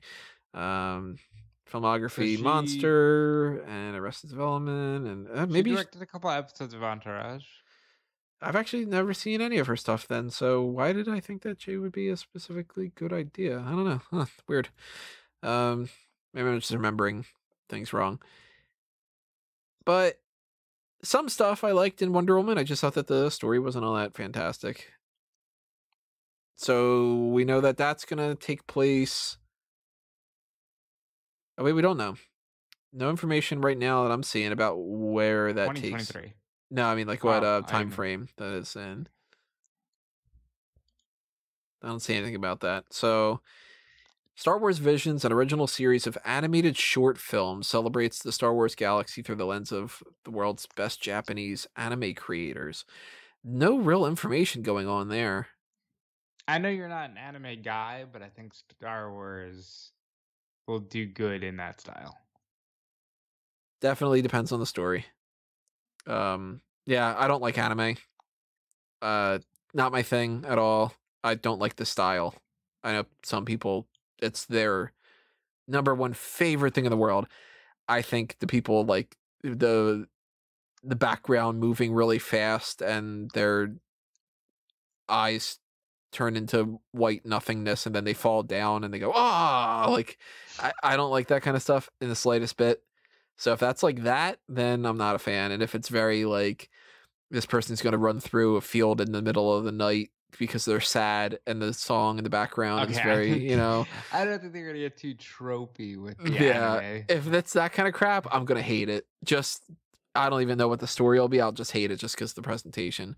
But I I'm okay with like show me a trailer. You know what I mean? Like you can win me over on anything if you win me over on it.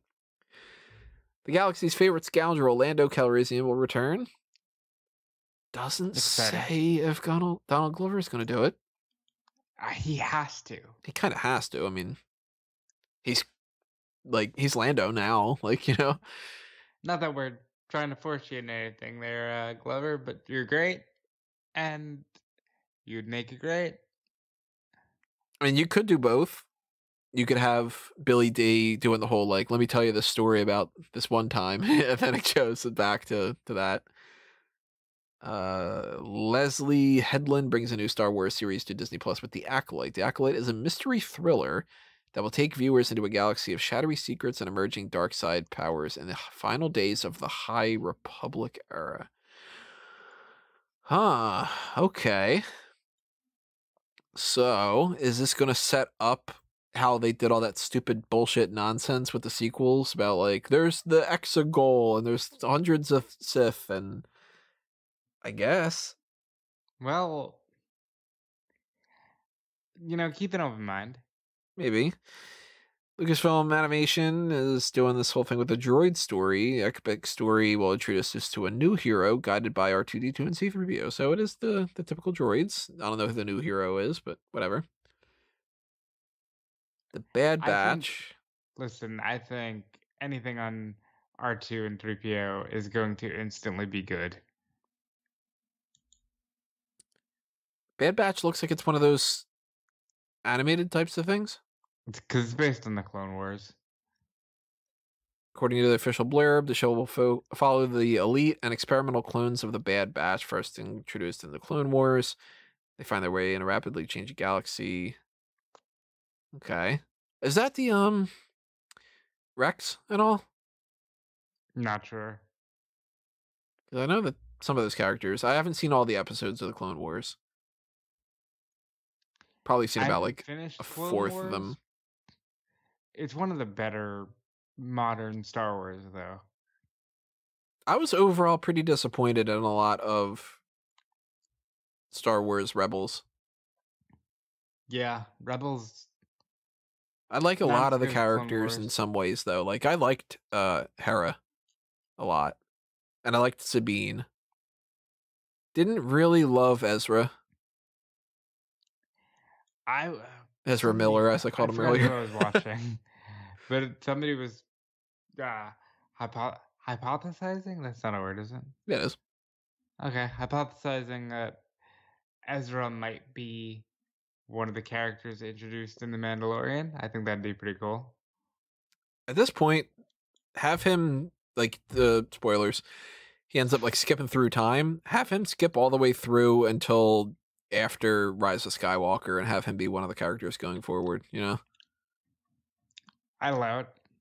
just like ignore Rey a little bit. like, yeah. Um Jeez, well not not like don't like ignore not ignore her, make her actually like become a character. Um so I'm on comicbookmovie.com right now. I'm looking at this post. This is uh, not something that they've put on that type of thing that we didn't go through before. But this says uh, Lucasfilm is in pre-production on the next installment of the Indiana Jones franchise. James Mangold is going to do it. He did Ford versus Ferrari. He did Logan. Was And- Ford versus Ferrari good? It is exactly the type of movie that almost everybody's dad would love. Like it's it's a good movie. I liked it a lot more than I thought that I would because I'm not into cars. But it's very testosterone. but it's not even testosterone. It's very dad movie. Like it's the story of a thing that happened with like a, a race. Like you know what I mean? And I'm not interested in the slightest bit in NASCAR. I do not like the whole um oh look at this car isn't that a beauty? I'm like no i can't even tell cars apart. I'm not a car guy. But it was a good movie. I'd recommend it for like one of those random days where you don't have any idea what you want to watch and you're just kind of like oh let me watch like an oscar bait type of movie. That's what it is. Fair. so this is going to be where they conclude the iconic character's story. So they're going to finish off indy. How do you feel about the Indiana Harrison Jones films? Loves. I'm sure Harrison Ford absolutely loves that. I like Indy. I feel like you can't really go wrong. It's one of those old school blockbuster movies for me that's like it's more about the movie theater experience and just like oh you got to see this than it is about the modern like okay we're going to tell you this really intricate story and that's fine i actually think that that's missing from movies a little bit today Yeah, the uh the Indiana Jones films are good. They're not the most amazing things in the world to me. what was it what did ford just say he was like i'd rather see the character just absolutely die before seeing uh oh fuck what's his name chris guardians of the galaxy Chris Pratt. chris pratt take over the role I mean, it's not like he's the only person that's ever played Indiana Jones. Too. They had the young Indiana Jones. yeah but it's uh, i don't know i think he likes to see characters die Yeah. Let's see about, a little bit about this more uh, this Lightyear thing. It says the definitive story of the original Buzz Lightyear. I'm Huh. interested It's not so much about the toy itself. Instead, it will focus on the space pilot that inspired the Buzz Lightyear action figure. Huh. See, but here's the thing. Oh wow, I got it in. Uh, if you're gonna do that, and if it works, can we get like a really good old school western about Woody? So that's why Tim Allen isn't doing it. It's Chris Evans. And it's the human Buzz Lightyear that they base a toy thing. You know, that's kind of a neat idea. Huh. I hope it works. I'll definitely be checking that out. I mean, I've watched all the Toy Story things before, so. If it Um, misses, listen, if it misses, we'll write it off. and if it misses, they tried. You know, it's not just, hey, let's do a Buzz Lightyear story and that's it. You know, um, I cannot click on some of these things right now because the audio would go through and I would get demonetized. So I'm not going to click on, for instance, the trailer for uh Loki. I'll I'll check that out in a little bit. Um I'll probably like pause our stream and do something or whatever. Um Brie Larson's returning, Ms. Marvel, et cetera, et cetera, et cetera.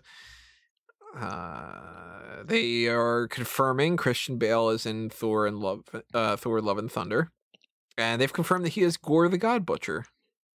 Okay, I like it. I think he's he's really good, and to a certain extent, I can't say I'll always see him as Batman because I'll always see him as Patrick Bateman, but I like him a lot. when he commits to something, he really commits to it. He is great. Yes. Now they did elements of Gorr the God Butcher already for Hela, so I'm curious where they're going to take that direction. Ant Man and the Wasp: Quantumania. They are confirming Jonathan Majors as Kang the Conqueror. So they haven't ever confirmed at this point, far as I'm aware, that Kang the Conqueror is going to continue to be Reed Richards' descendant. But if they are, then that means that maybe they're going to go for like a black cast in some fashion for Fantastic Four. Hmm. They could write off Kang the Conqueror as a descendant of Tony Stark. And if they do that, then they got to kind of allude to that in some fashion, but I don't know about that. Um, Kathryn Newton joins the cast as Cassie Lang. Who is Kathryn Newton? Because that's obviously not the little girl from before, because Cassie has aged up. Is she not the one that was in um Huh, they might have recast uh from the other movie. Uh and from Endgame. Yeah, they did.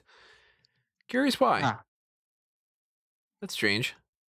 Wonder why I they didn't don't- just go with the girl from Endgame. So Kathryn Newton was in Pokemon, Detective Pikachu. Oh, she's that girl. Uh, I didn't really love that girl.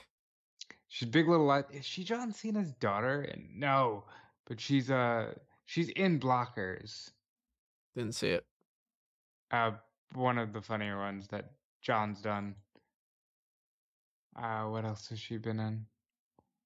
Uh, Supernatural, Ladybird. You you ever see Ladybird? I watched the first two and a half minutes of Ladybird, and I was like, "Fuck this movie!" Not into it. Fair enough. Once I got to the part where she jumps out of the car, and it's like, "Oh, isn't she so quirky and like just hates life?" And I was like, "God damn it, I'm gonna did hate it." Caroline feel about Ladybird? She didn't watch it. Emma Fuhrmann was the actress that played the character the last time around. I wonder why they recast her. That's that's strange. I can't seem to find any information about that. Maybe they thought that this person looked the part more. Or, I don't know. That little girl that originally played Cassie in the first two movies, though, she's adorable. So I hope that she continues to be an actress and everything. Yeah, and if not, you know, maybe it's for the better, but hey, wouldn't hurt. well, I mean, for uh, child actors and actresses, sometimes it is better if they totally aren't. Yeah. Uh, let's see what Secret Invasion and all this stuff, any information about this. Um, Samuel L. Jackson is back as Nick Fury, and Ben Mendelsohn from Captain Marvel returns as Skrull Talos. So they're doing Secret Invasion. Yep. Should Um, be good. Don Cheadle returns as War Machine, a classic Marvel story about Tony Stark's worst fear coming to true. What if the tech falls into the wrong hands? Oh man, they have a lot of characters that they never tapped into with the Iron Man series that they like because a lot of them are just very similar. So I'm a big fan of them changing Justin Hammer and Obadiah staying around to where instead of Justin Hammer being the young guy or being the old guy and Stane being younger, I like it better the way that they did it in the MCU. But they still have Crimson Dynamo, they still have Titanium Man. So I'm assuming that they get into that. It's kind of neat. I'm assuming that that the like I said, the original series, I will probably prefer them to, you know, the big theater releases. Dominique Thorne is genius inventor Riri Williams for Ironheart. So they are, I mean, Ironheart's Ironheart. It's not like that we're going to really do anything super different. Who's Dominique Thorne? Let's see if I know her from anything. She does not look familiar. She's in the Beale Street movie that I didn't see. Okay. If Beale Street could talk and Judas yeah. and the Black Messiah. I have not seen either. And once you look at that, Tatiana Maslany will portray Jennifer Walters. You know what? I'm sick and tired of people doing.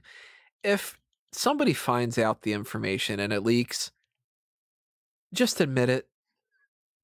Like, yeah. I hate this shit when people do the, no, I don't know what's coming on around that. I've never heard about this. It's not true. It's not true. Ah, it's true. Come on. Like, Maslany said, I don't know what's going on with the She Hulk thing. I, you know, that's the first that I've heard about that or whatever. And Maybe now look at that. Commit. Maybe, you know, I just think it's dumb. Just, just say it. Just say, yeah, you know what? That's true. You're gonna get the press anyway. certain thing that like they have to commit to. They did it with uh, Steinfeld. They did it with Maslany. Like any of those kind, you know, uh, Marion Cotillard, it's like, well, I'm not actually playing Talia, and uh, like it's just uh, people guess it. Just go with it. Tim Roth returns as Abomination. Okay, makes sense.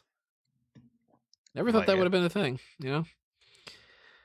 James Gunn's writing and directing the holiday special for Guardians of the Galaxy. That's good. Everyone's favorite little tree, Baby Groot, will star in a series of shorts. So it's gonna be Baby Groot. Makes sense. Makes sense. Let's say uh, the Loki teaser trailer. As I said before, I can't really play that without getting a copyright infringement thing. First trailer for Falcon and Winter Soldier. Can't do that either. I will do that in a bit. I will come back to that one. Check out the new trailer and the poster for WandaVision. I'll check that out in a bit. Um, what if gets a trailer? I'll check that in a little bit. Fantastic Four movie officially in the works. John Watts is going to direct. That's interesting. I like the idea that they're finally going to get a good movie. Mm. I'm going with the idea that it's going to be a good movie. Huh. So, I wonder why they didn't go with Peyton Reed. Because Peyton Reed really, really wanted to do that. And Watts is working on the Spider-Man movies. Well, I guess Reed's technically still doing the Ant Man stuff. So, huh. all right. So I'm I'm looking at the sizzle reel for uh Miss Marvel, trying to see if there's anything there. Um. So far, it looks like they're just showing off the character. I'm hoping we get like a look at who may play. They they named the actress um, Iman Vellani. Yeah, don't know. I'm just gonna check. I know they're younger, so maybe they haven't been in anything. But just in case. It's weird seeing people do table reads on Zoom. It's That shit does not feel normal ever. Uh, she's done nothing. Uh, like, just brand newcomer kind of thing. So this, you want to feel old? She was born in 02. God, I hate that. Uh, I hate that so much. I mean, I mean, there's a good chance that she's younger than the Tobey Spider-Man movies. so you know. Hmm. Um, let's see here. Trying to find some more information. So they added 12 million subscribers in the past month to Disney Plus. In the past month? It's kind of crazy. You think that has anything to do with The Mandalorian? anything at all? so what I think that we're going to do here I think that what I'm going to do is I'm going to pause our recording for anybody that's listening.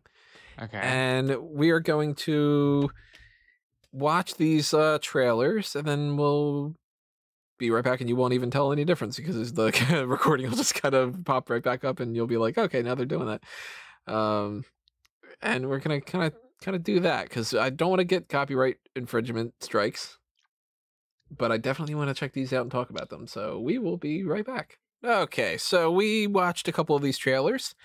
Some of them, honestly, not too much going on. Like the the Andor one, the Ms. Marvel one, they're just like they they really should call them more so just like intro kind of concept preview pitch type stuff. They're sizzle reel things, but without being much for a sizzle reel. It's mostly people going like, "Oh, I'm excited for this series. This is going to be great because this character is great and there's so much potential for story." Not a whole lot of like clips or anything, but we did get full trailers for some of the other stuff. Now we got we watched Loki, Fa- uh, Falcon and Winter Soldier, WandaVision, and What If. I would rank them for my interest before we saw these trailers. I mean, we did see a WandaVision trailer before. We've seen that, yeah, a different type of trailer beforehand. But going into just when they first announced them, you know, a year ago or whatever it was, I was very much Falcon and Winter Soldier is number one. Number two is WandaVision. Number three is Loki. Number four is What If. See, I am one of those people who really like stuff like What If. So when I heard What If, I had What If number one, Loki number two, Falcon Winter Soldier, and then WandaVision. After That's watching these trailers, WandaVision, the last trailers that they've put out have been very interesting and good and whatever. I think we're both in agreement here. After these trailers, we're like, shit, WandaVision looks the best out of the four. I'm glad it's coming in January because we don't have to wait. It looks very excited really for that. good. All four of Really these feel different. Um, I wrote down a couple little notes, my thoughts on this. Loki, it's darker than I expected that it would be.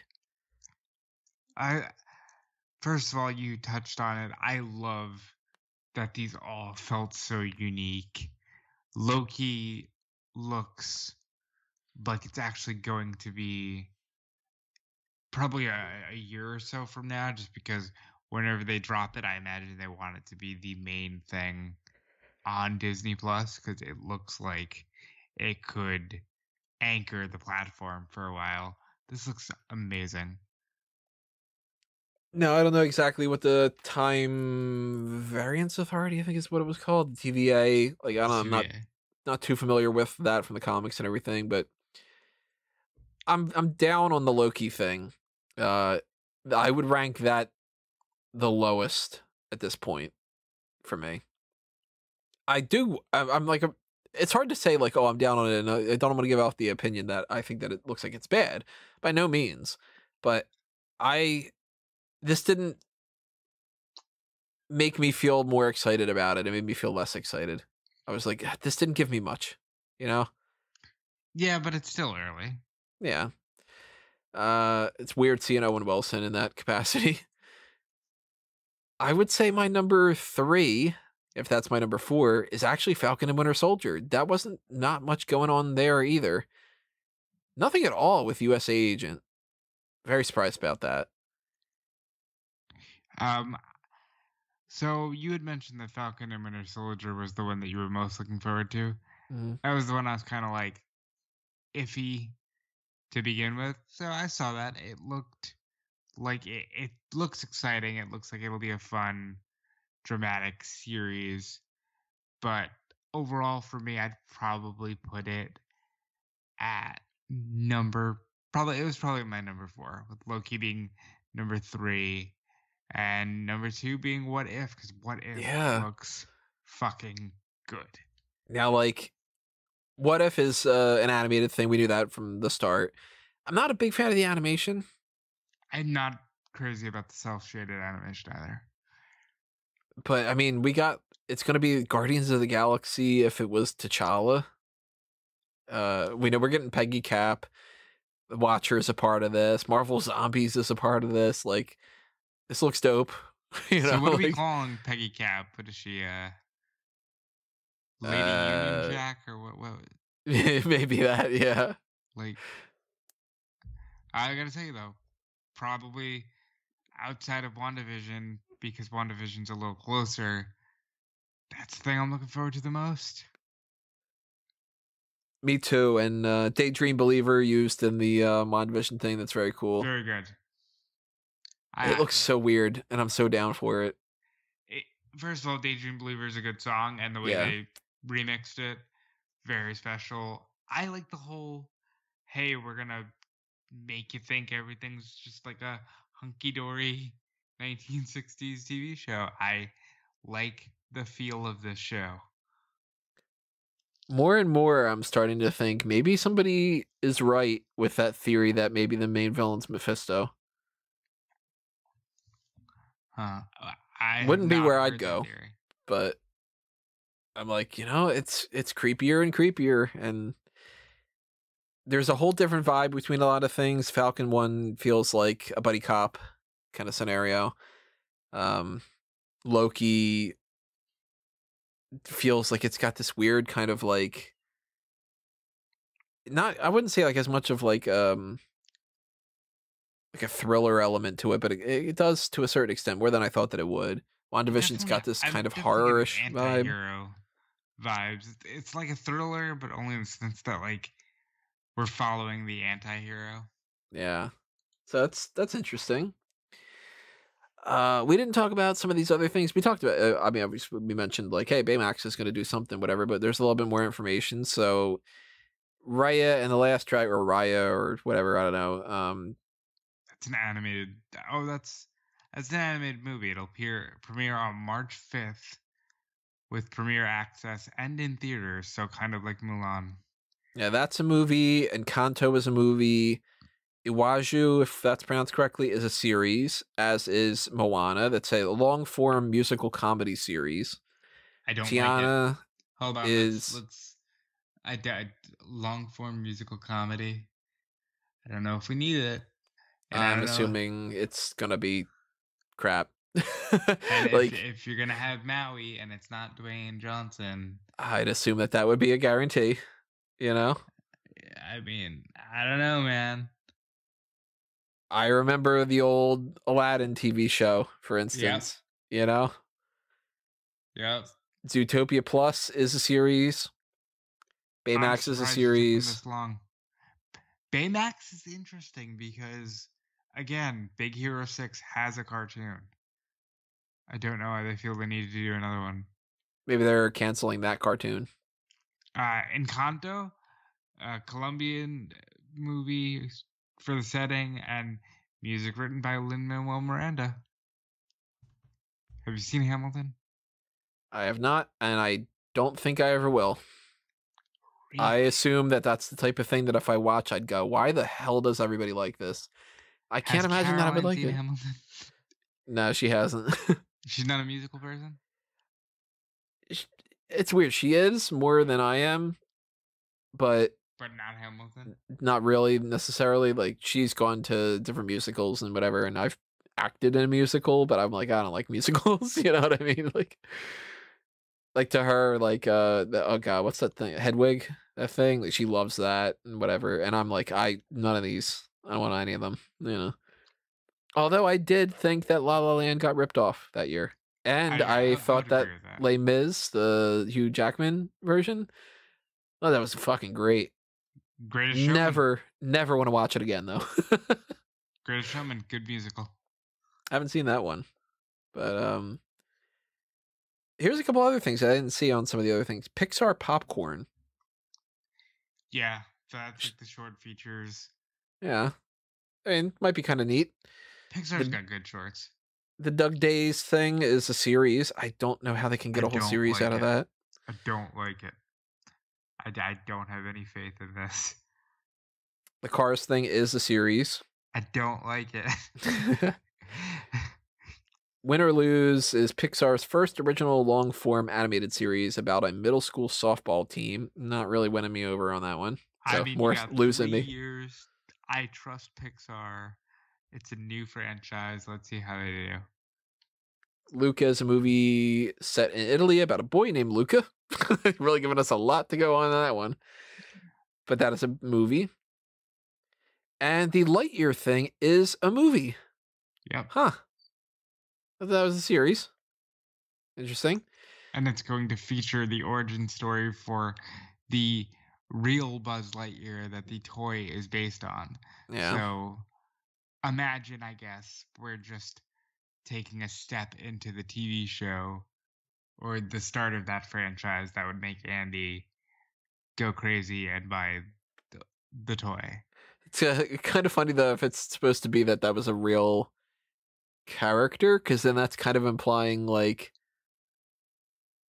that uh this was like a guy that did these things, which is like I don't know. What if like Neil Armstrong just sort of was doing this? You know, like that implies a whole lot of different things.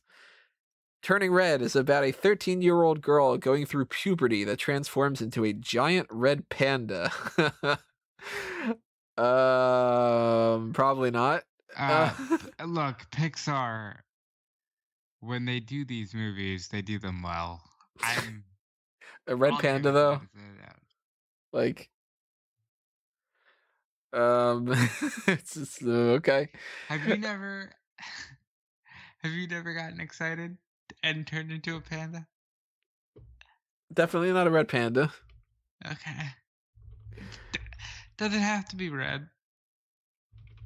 Uh, we've joked about. yeah.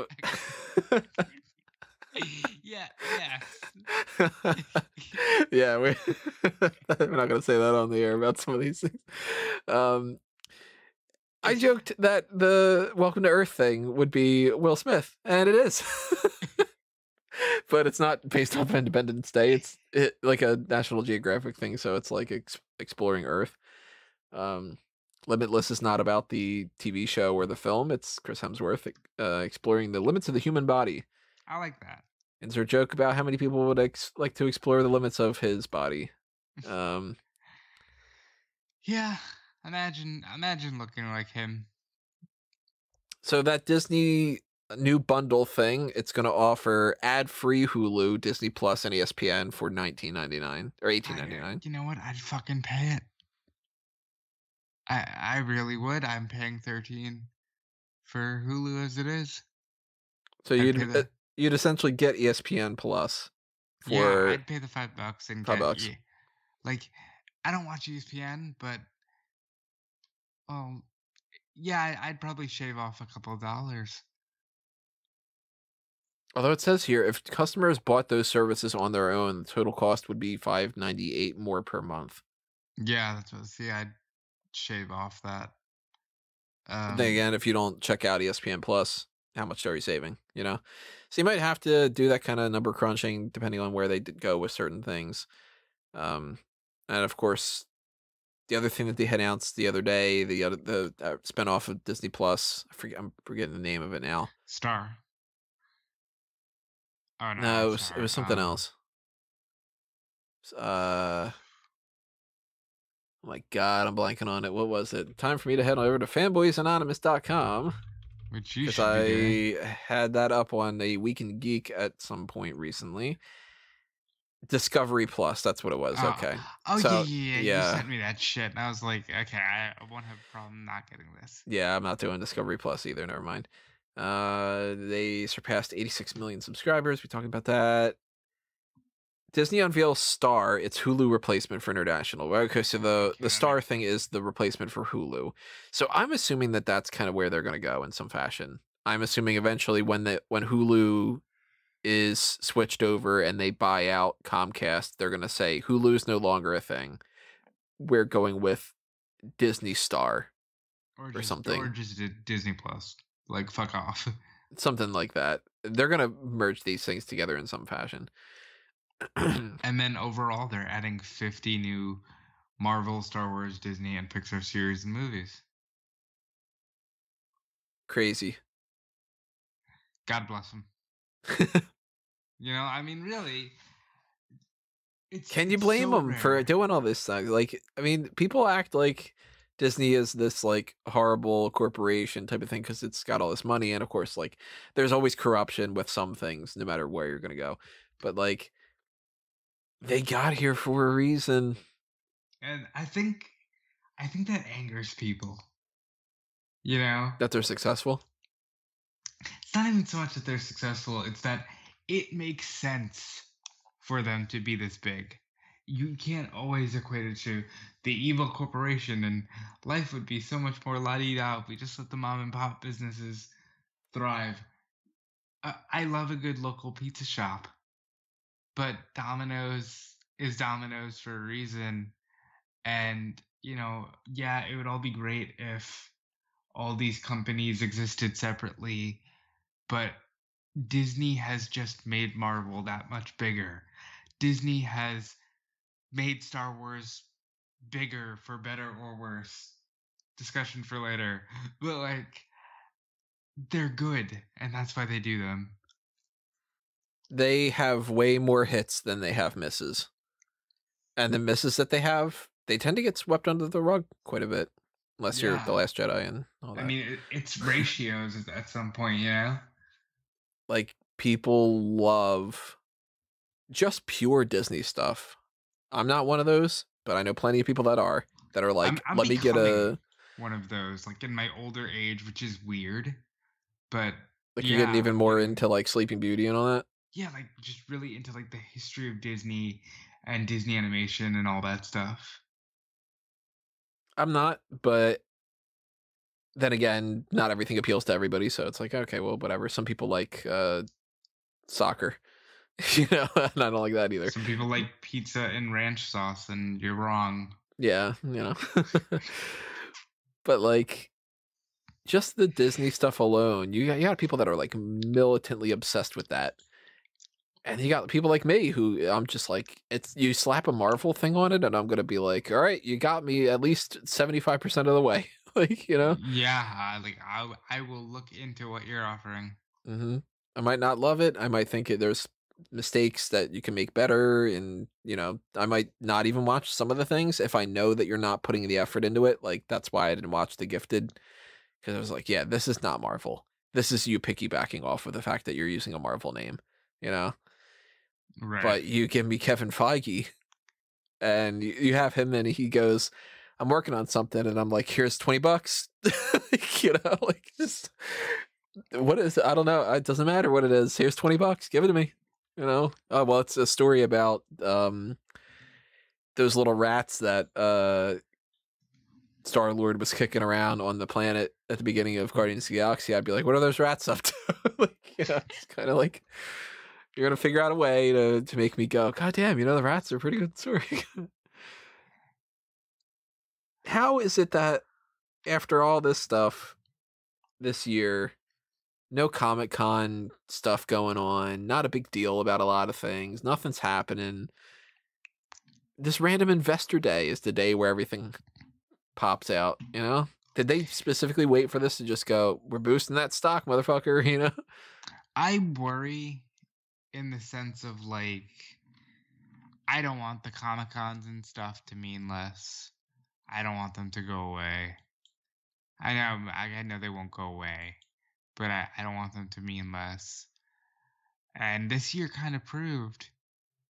Oh fuck, maybe we don't need massive conventions. Maybe we don't need all that shit. Having been to multiple conventions, never San Diego, but having been to New York Comic Con a few times and stuff, I don't think you need it like the way that it is. It was fun to go and to say that I went to New York Comic Con.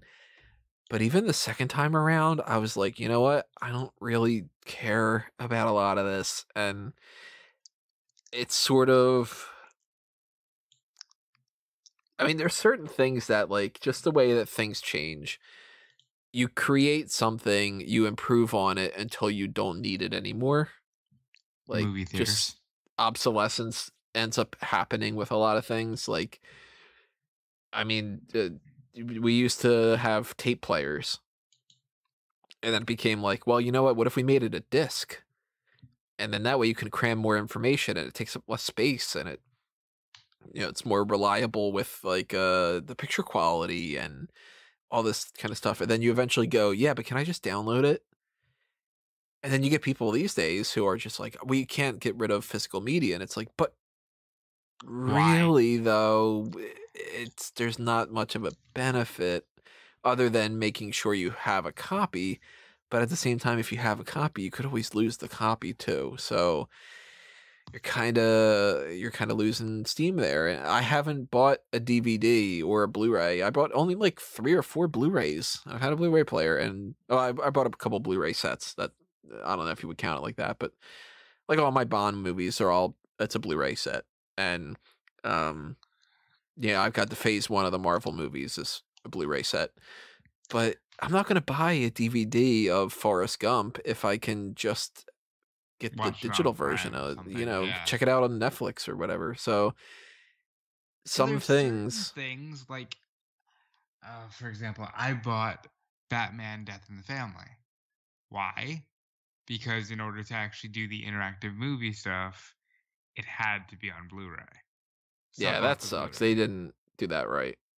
you know, or um, I I've been buying like some compilation DVDs for like certain wrestlers because it's like, all right, I want to have just a compilation of this stuff, and if I can't find it on digital, I'll buy the DVD. But it's got to be like a really strong necessity, like I can't find you anywhere else kind of necessity.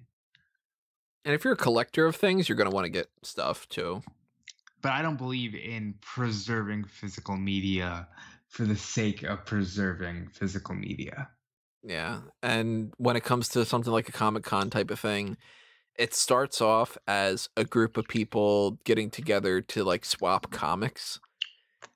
And it eventually blows up and it becomes this big media storm and people start doing movie trailers there and they start dropping, you know, this is exclusive merchandise and whatever. And then it gets to the point where it's like, you know what? Well, the internet's a thing more than it ever was and now streaming online is a viable option because you couldn't really do that even like 10 years ago it was a lot harder to do i mean i i've been doing podcasts for almost 10 years and that alone was a bitch back then you Remember know? when YouTube could only be 15 minutes? yeah 15 minutes that's why the first episodes of smack talk are broken up into less than 15 minute segments.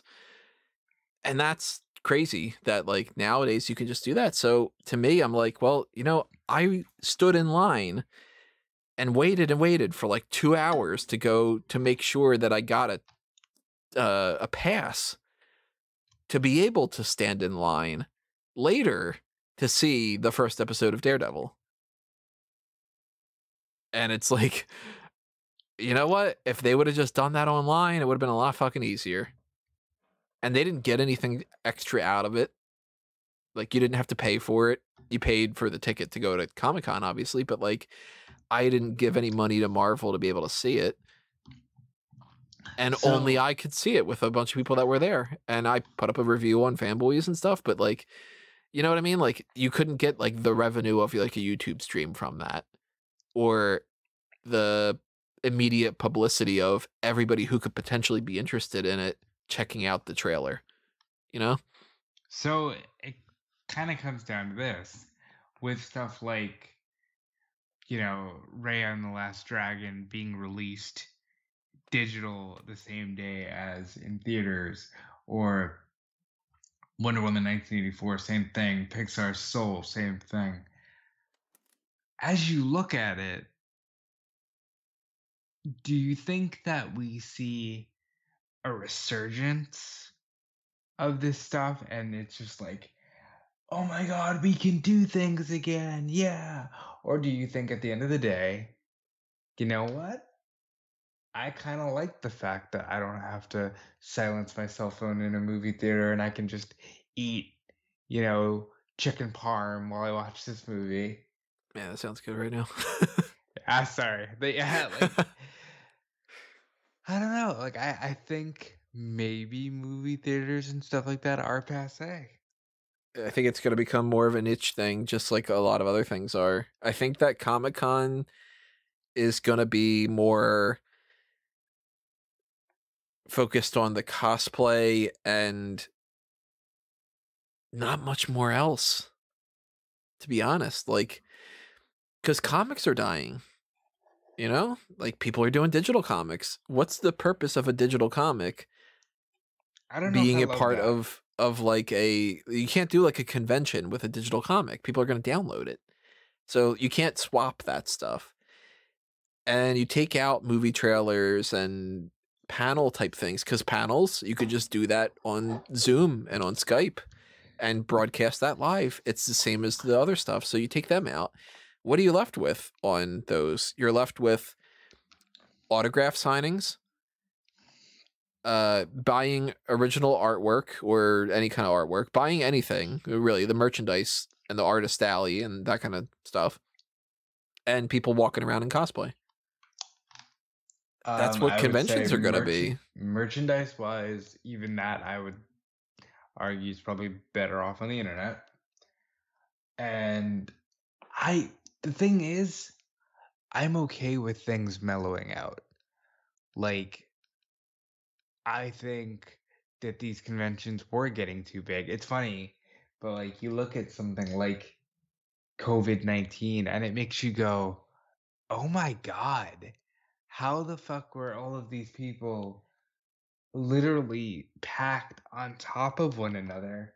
And nobody was like, no, this is not good. You know, like, well people do get sick on those all the time there's always like you get convention sickness because there's just people are walking around and somebody's caught something you know yeah, but I think like and you get the people that don't fucking shower and like that one dude that was dressed up as blade that smelled like baby shit this and this is the best time to go, you know what? Is it really worth it? I don't think so. And just not do it. I really think with like the stuff like this, like this is investor day. That sounds boring as shit. And look at all the stuff we got, you know, like, but it makes sense. It's, hey, if you are an investor in this company, here's where we're going to boost our stock and we're going to get people talking about this and we're going to, we're going to let you know our plans for the next year and whatever. I'm imagining that this, this year, man, this, we're going to look back on 2020 and that's going to be the new joke about like 2020 vision it's going to be like holy shit how many things changed in 2020 movie Yeah. theaters are going to die out in a lot of ways because Very quickly. less people are going to go to the movies just because they're going to get used to this and the streaming platforms chris nolan for instance is like i fucking hate this and whatever because he knows what's happening they're going to use this as their test to see if this is the way to go in the future if it bombs terribly and people just aren't making any money and the subscriber rate plateaus and you can't do anything about it because there is a finite amount of people, you know? I think, like for example, I don't think Pixar's Soul and Wonder Woman 1984 in two weeks should be the definitive test of this, right? I think they should keep going and then in a year or two see where that lands them because I do think in the immediate there's going to be like this well why don't we just go to the movie theater you know like because there's that I don't say nostalgic, but but there's that like I haven't been able to do this. I just want to get out of the house. Wait till Yeah. things go back to normal, and then see if people prefer the convenience of. Nope, I'd rather just stay home. I think the real tests are going to be Soul is going to be very much like Onward.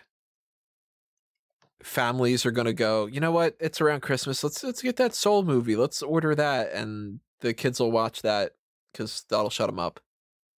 And Wonder Woman 1984, yeah, it makes good money in the box office normally because it's a superhero film and whatever. But it is something that does target certain things not quite the same as some other things. Like there are people that I mean, I'm not looking forward to the movie as much as a lot of other people are because I think that the first one's overrated, and I think that if this movie follows the suit of the script, then it's bad. Uh, there are people though that don't like the movie because it's Wonder Woman and they don't want to watch a, a female led movie.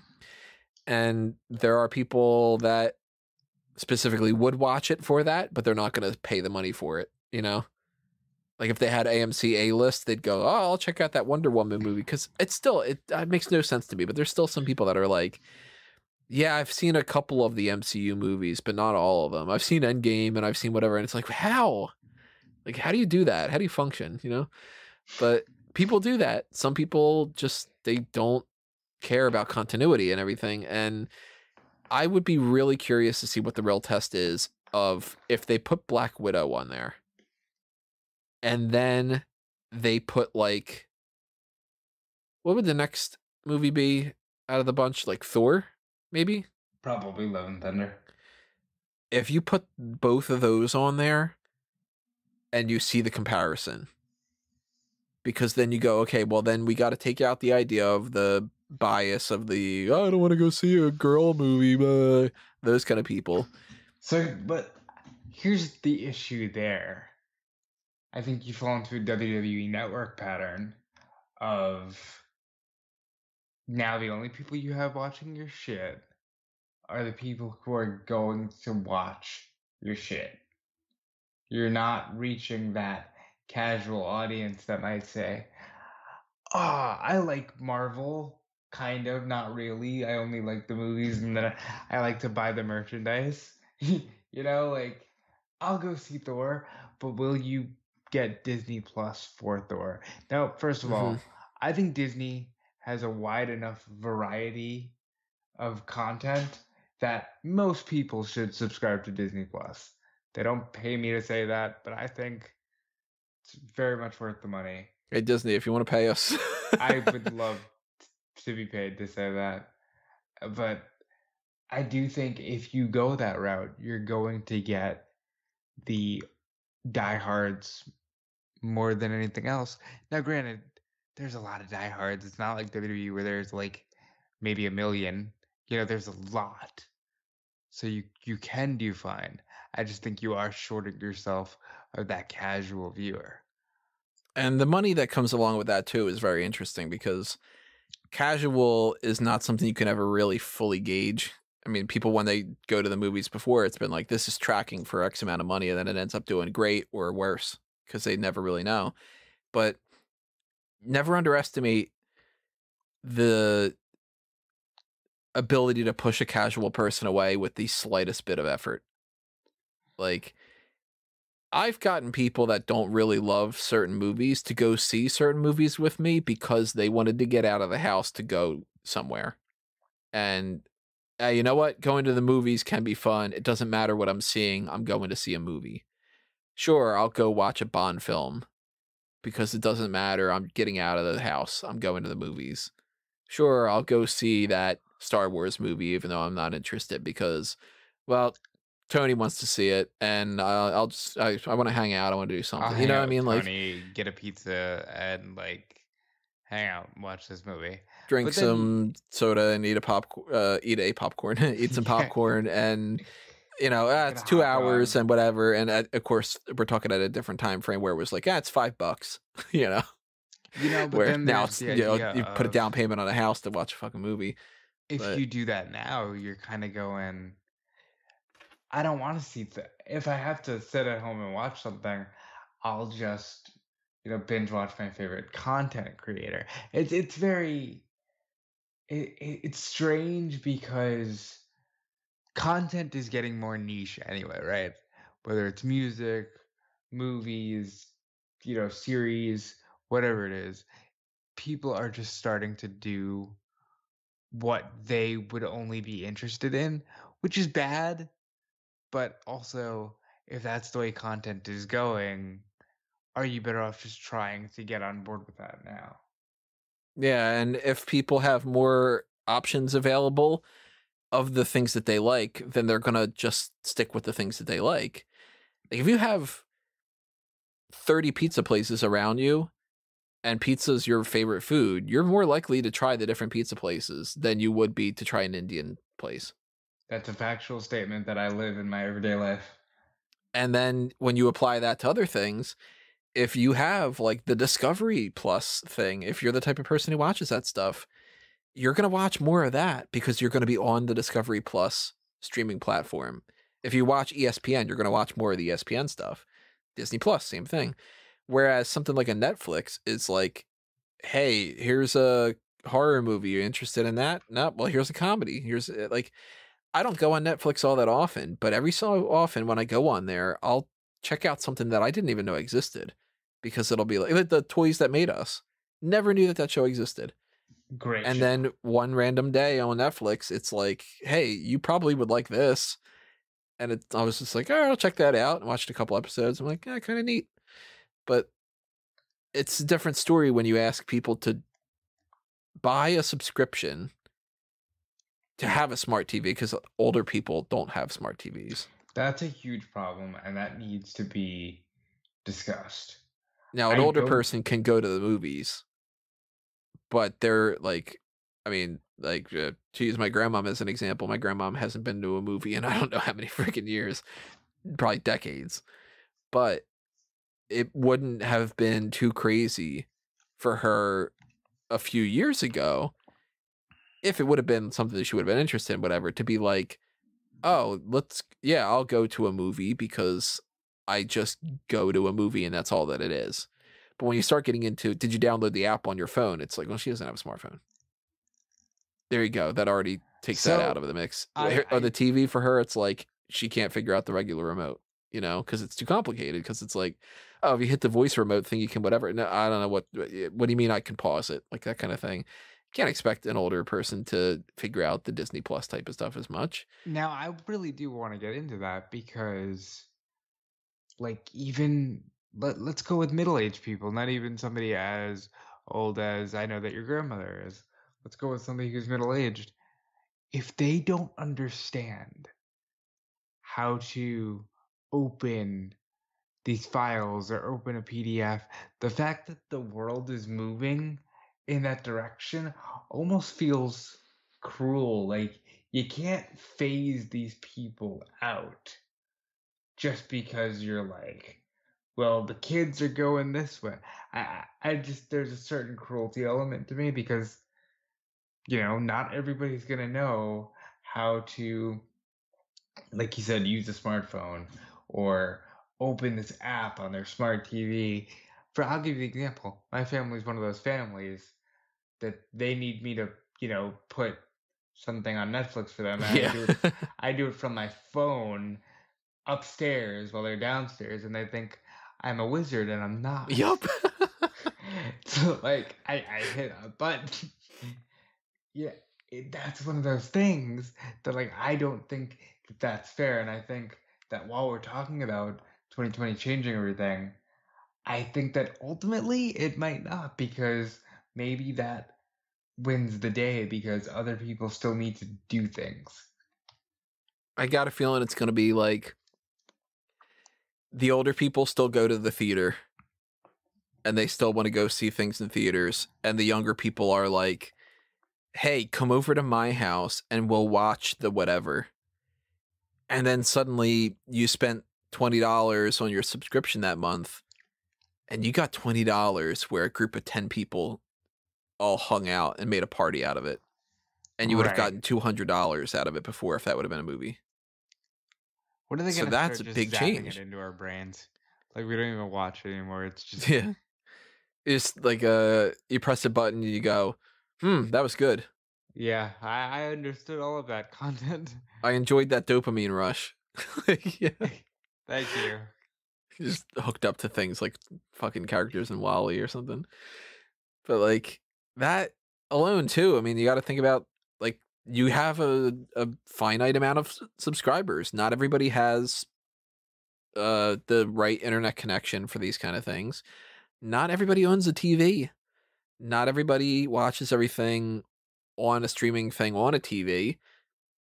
Some people are like, "Yo, I got a Netflix account. I watch everything on my laptop." And some people watch things on their phone and whatever, but not everybody has all that stuff. Some people still do have landlines and some people still do use typewriters and whatever, but they're dying out because everybody has to learn these other things. And eventually it's going to be like, all right, less and less and less and less. I don't know. It's scary. I like a lot of it, but I hate a lot of it because I do like the idea that if it's hard for somebody to go out to the movies, like you got to figure like people in wheelchairs. It's a lot harder. Or you know, a kid who has like uh the right type of like attention deficit whatever where it's like uh, I I can't get him to like sit still to watch the movie the whole time but you can do it at home you know like there's a lot of benefits to those kind of things or even elderly uh like retirement centers you can't get a lot of people to go out and just be like, "Hey, let's go do this kind of thing. Let's go see these movies or whatever." It's like, well, this is a horrible like picture I'm painting, but it's like, well, this one's in a wheelchair. This one's got an oxygen tank. That one can't walk out uh, all that far without My needing okay, a well, rest. my argument to that, all of that immediately becomes: Are we developing a very complacent, lazy, and almost to an extent victimized society where you go like let's take the uh let's take that one by one. So let's take the kid in the wheelchair where you go oh isn't it cool that you can you know just sit here and watch it at home? Yes that's easier for the kid the family and all involved but then you are basically telling them they don't have to go out and Yeah. learn that experience that is it is kind of like then just stay at home kind of like Be, you know, I like it's it's a real thing, and that's part of what I worry about. That it maybe you know, as good as these things are, and as easier as these things do make life, are they also developing really rotten habits? I guess you need to do something that makes it all that much worthwhile. And it might end up being more along the lines of sports. Because I mean, I've watched wrestling for most of my life and I've gone to maybe a dozen shows because it's more expensive. But there's not much that I can argue against the idea of if you go to a sporting event, you tend to like it better.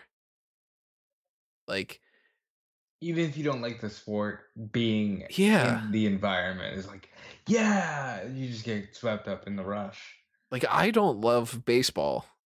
Not interested in it. I've watched plenty of baseball games. I've played plenty of baseball games. I've played pen- plenty of baseball video games. Uh, you know, like I I had a, a couple of mitts growing up. I had uh, you know, I played with kids around the block. I did whatever. I never played like sports for school, but baseball's never been something I've been all that interested in. Yet every once in a while, I'm like, yeah, it'd be fun to go to a game. Let me hop on over to Philly with some friends and go to a Phillies game. And I spend more money than I should because you get a hot dog there. It's like 20 fucking bucks or whatever. And I always get the sausage sandwiches at like Citi Field. I haven't lived in New York in a while, but when I did, like, you know, like you said, it's it's part of the experience. And I think as I good as it wanted to go see a uh, New York Guardians game with the XFL. oh my God, yeah, the fact that I didn't see the Tampa Bay Vipers game sucks. Yeah, I wanted to see that. And I have never been to a football game before. And I was like, man, that'd be fun. And it never happened, of course, because like COVID. COVID and you know, XFL shut and the down. XFL shutting down and everything. But like, there's a certain level of just like that's fun, and I'm going to spend a little bit more money because it's going to have that experience. And I can't think that movies are going to have that justification as much because I always would rather go to the movies. especially if it's like a comedy. There's something so much better about being in a movie theater where Cap uh, summons Mjolnir and a whole fucking group of like a couple hundred people just go, ah, I did it. Like, you know, and like that is what's genuinely like, it's such joy when you go to a, a comedy and everybody's laughing. You know, yeah. But I'm, I'm not, not- spending a hundred bucks to do it. So it's like I'm not. We're not going to get bogged down in politics, but just to tie this all together. If you look at the first things that people started to do after like the first real bad wave of the pandemic and the lock and the mandated lockdowns everywhere, it was the protests. And it was like this thing of like, yeah, let's all get together because that's still an experience that is needed, you know? You need that group kind of.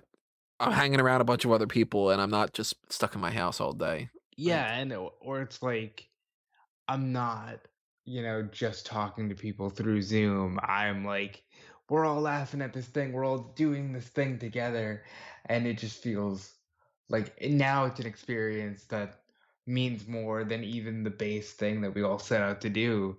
Now it's this this moment has grown and I think that's something that even though the convenience of movie theaters you know, kind of shutting down in favor of watching things in your home is nothing beats the experience of, like you said, every laughing in the theater at once or everybody cheering because it's like, you know, uh, the first episode seven when those credits hit the screen and you're like, Mhm. yeah. You're like, yeah, it hasn't ruined anything yet. Like, this, is fucking awesome. Sure, you know, again, you might leave with a different feeling, but also maybe everybody else in that theater Yeah. has that different feeling. And again, it's just the experience. And I think I think that's kind of why that these things won't actually change too much right off the bat because I don't think people are ready to give up the experience. I know that I will always want to still just go to movie theaters because, yeah, you said, like Star Wars, like, I mean, I only got a chance to see episode two. Uh, episode no, I saw episode one in theaters. Yeah, so episode one onward in theaters. Obviously, I was never like born in 1970 something. If I'm the age that I am right now, but uh, like I saw episode one before I was a Star Wars fan. I had been like a very, very cursory Star Wars fan, but it wasn't something like I didn't know the characters. You know, Obi Wan Kenobi comes on the screen, and I'm like, "Who's Obi Wan?" Like that kind of thing. So it's very, very little that I had known. But by the time Episode Two comes out, I know everything about the films as much as I can. I know some of the extended universe type stuff, uh, expanded universe, and by the time episode two comes out, I'm like, fuck yeah, Star Wars movie, like it just started. And episode three comes out, and I'm with, you know, a couple of friends as well. And we're all like, yeah, the last Star Wars movie, man. Like, this is crazy.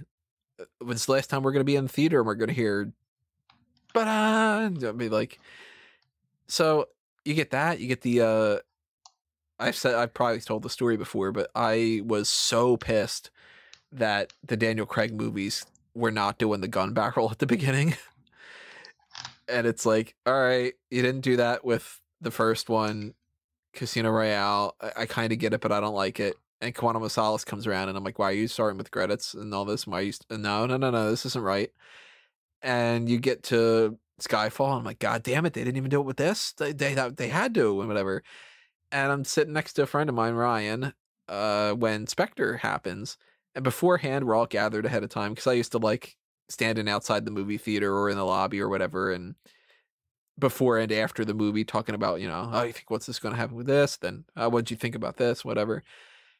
And uh, Ryan tells me afterward, he's like, dude, you were so giddy at uh, the beginning of the movie when the gun barrel popped up. He's like, that was such joy coming out of you. Like you got all like, yeah, like pumped up and whatever. Cause I'm just like, did it the gun barrel. Fuck yeah, you know, like but people do it, you know, like uh any of those kind of things. Like they that group mentality make means so much more.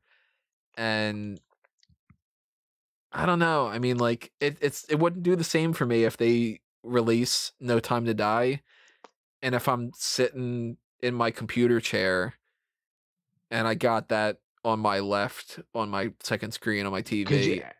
and that's the other thing. It's the like the ADD that we all now have. We all have. I'm sorry. Like, I okay. Quick backstory because older people cannot work technology. I've been helping my mom with uh, some job orientation stuff. I did that while working. And Right. I was listening to her things and my things, and she's like, "How how are you functioning?" I'm like, "Cause I do this all the time, Right. and it's so so unhealthy." It's I was- exhausting too, isn't it? yeah, but I was just like, that's how I function at this point. I'm always doing more than one thing. And yeah, you won't give it the same attention because as much as it's comfortable to sit in your house with it, maybe you want to play a chicken parm with some garlic knots while watching a movie. Ugh, that's killing me.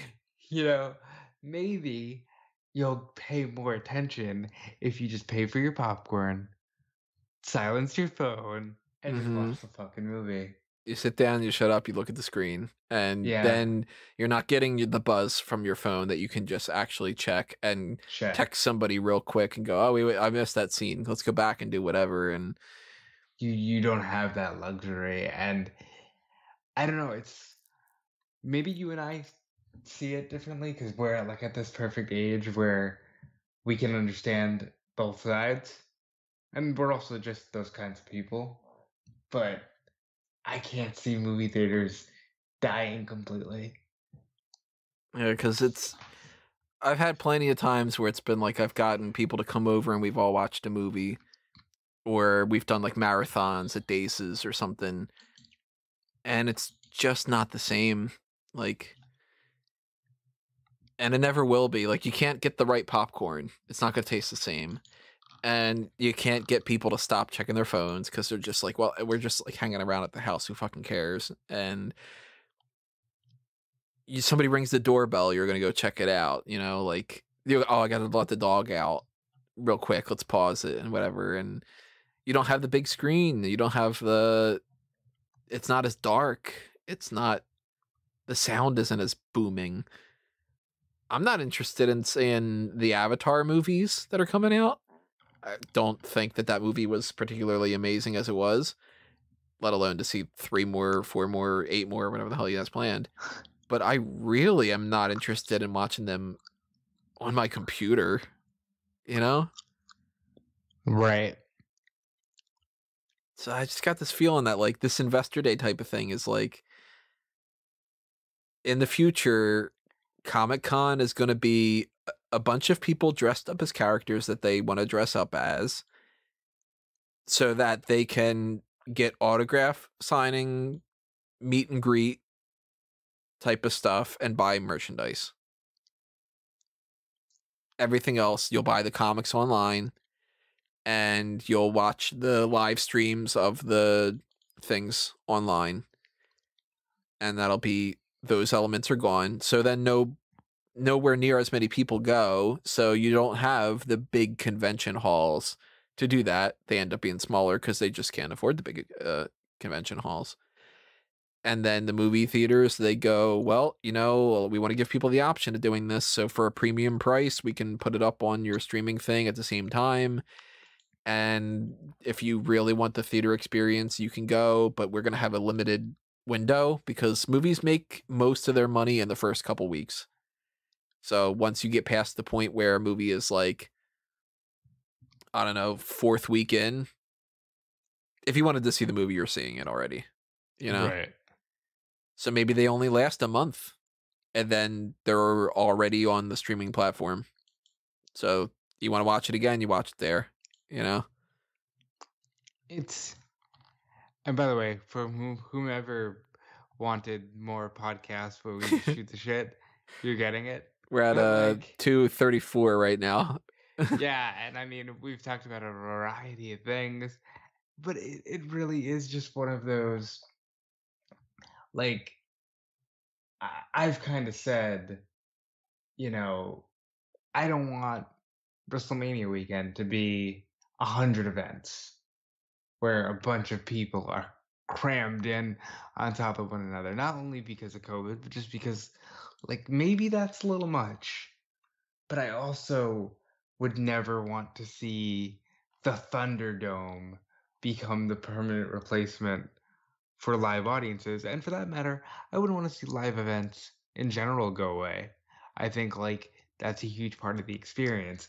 The fact that people so openly talk about live events in wrestling going away is kind of scary to me, you know?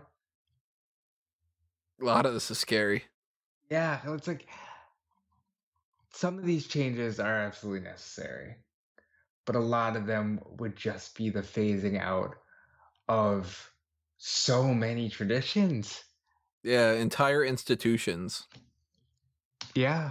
I mean, even like this is a, an odd topic to get into one way. I mean, we start this podcast essentially being like, yeah, let's check out what they had about Loki and like that kind of thing. But even something as simple as dating, Yep. dinner and a movie, it's the most basic a date that you can do. And it's one of the best ones in my mind. Like, you can screw it up, of course. You can screw up any kind of a date. But like, dinner and a movie is something that's so universal. And, And, now dinner and a movie. No, It- granted, don't get me wrong. Restaurants aren't dead. It's like you can obviously still go to a fancy restaurant and take somebody to a movie, but you can also just go, "Hey, well, let's just meet up here and we'll Uber Eats this and go through Netflix." And like that's literally become a thing, Netflix and chill, because it was, "Hey, let's just put on Netflix," and oh look at that, we're fucking, you know, like that's now that does work better for that where it's like if you know that that's your goal and that's where you're heading then that gives you an excuse to go over to somebody else's house and you can just go oh let's let's pretend that we're going to watch this thing and then oh like you know that kind of but I also think it, it's it it's can't casually developed- date. Yeah, but it's also developed on the other side this weird expectation of like people no longer just meet and interact. Now it's like this full on who are you? What are you about? You know, like I'm gonna make a decision within 30 seconds as to whether or not we are compatible people because we are just machines now. You know? uh, let me click on your profile thing and see how much we match according to the algorithm Yeah, like we are all controlled by algorithms, and it's fucking insane. The way, like i see here in your profile that you don't like hiking i don't think but oh, the I'm like adventurous. It doesn't seem that you are. Sorry. It's like Yeah, and it's just that's that's weird and again missing out on experiences, and this is taking a weird detour from Disney Investor Day, but it's like it, it all does tie together.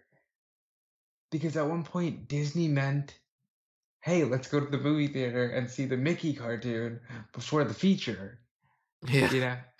And like the feature, the picture shows. You know, it all it all changes. did you go check out the talkie? you know, I don't think that like the theme parks will ever really go away No. because I think that that's just going to be everybody at, at like you get adrenaline junkies and you get people that just want to go for like a vacation and they want to do that kind of stuff and yeah, they're in a shit time right now because people can't do that, but they'll bounce back. Eventually, when people get to the chance that they can do that, people are going to flock to that stuff. And And I kind of uh, that's the kind of hope I'm holding out for movie theaters. Me too, to a certain extent. Like I know that I'm gonna be if there's a, a point where it's sort of like, all right, you don't have to worry anymore. I'm gonna worry a little bit longer anyway, just because, you know. Yeah, because they- you know it's coming. Yeah, they have like they have implanted at this point that this is the future, and I mean, just in general about like the virus, like it's oh, different than a scenario where it's like, "Oh, okay, it's not like the thunderstorm is over, so now we can you know go and uh, play mini golf. Like you know, this is the type of thing where it could be like, well, you don't have to worry about catching a virus anymore. Then you wait another week and people go, actually, it's spiked up and whatever. Like, I'm not at that point, way not at that point right now of being like, okay, I think that I'm going to just start acting like everything's normal. And I don't know when I'm going to be, but once it does get to the point where it's just like, all right, slowly but surely, everything just comes back to normal. And it will. Like, at some point, it just has to it, it, we can't just be like 30 years from now being like, yeah, we're still wearing masks and we're whatever. Like, we got to figure this shit out. And I mean, when that slowly converts back to normal, even if it's a crappier movie, I'm going to be more inclined to want to go to the theaters just to be like, I haven't seen a movie in theaters for ages. yeah, and I think that's what a lot of this is going to come down to. Because, again, not trying to talk about the virus, but I I personally feel like we're in a position right now where we're trying almost desperately to pivot like everything's gonna just be okay magically now. And i think that part of that is just gonna see a bunch of people flock to theme parks and flock to movie theaters and even if it's a shitty movie because again i don't care i just want to see a movie even if it's you know zoolander 2 i'm gonna watch a movie yeah, because I have done that in the past without this being the case, where it's just like, man, I haven't gone to the movies in a while. You want to go see something? What's what's playing? I don't know. Let's uh, I don't know. Let's watch that little thing. Like, uh, the first movie that Caroline and I went to go see was Logan Lucky. That's not a movie that was on my list, you know, but it was like logan like lucky I was like, uh, like, uh, how about we go to the movies? You want to go to the movies? And we're like, yeah, let's figure out what we're gonna see. I don't know. Uh, this is playing, that's playing, or that's playing. Uh, I don't know. How about we see that one? That seems like that's a thing. And it was she and I and one other person, and the fucking guy sat right next to her. I don't know why, but god damn it. Um, so that was just for the sake of seeing something. And you know, if this is a couple months from now or a year from now or whatever, I might be like, wow, you know what? I haven't gone to a movie in a while. Sure, I'll go see uh that generic everybody gets together at the end and it's a happy romantic story and the guy gets the girl and it's called like the the Meadowlands Ranch or whatever and just be like, "All right, just fucking hit me with the sap. I don't care." Like, you know. You know, oddly enough, I don't think there's enough of those because I think like people are in this phase where they're obsessed with quote unquote realistic endings. So I don't think there's like enough of those. And hey, things ended up okay because sometimes that is also a genuine possibility. Uh, you just don't have uh, anybody that's watching Hallmark and Lifetime stuff. Then I think Well, that's all like the blueberry farms and like you Well, know listen, uh, Lifetime is doing a Colonel Sanders movie. what? You haven't seen this? Go Why was this not a part of uh, Disney Plus? Go ahead and Google a recipe for seduction. no, that can't. No, Go ahead. a recipe for seduction KFC.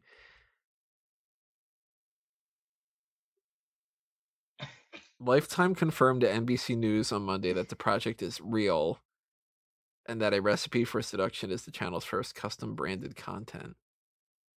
Th- th- Mario this, Lopez? This is it- real. When we wrap up, you're gonna watch the trailer, and I'm gonna laugh as you go through this trailer. But, mm, but going back to what you were saying, you know, yeah, that's actually how I saw Rogue One. It was just, hey, I'm going to see this. So and so doesn't want to go with me. You want to go? Sure. And I, and that's how I saw Rogue One. yeah, I mean, that's how I, even had seen Transformers because even though I liked Transformers as a kid, it was never the biggest thing in the world. And it was like, yeah, you want to go see that Transformer movie? Uh, all right, I'll get out of the house.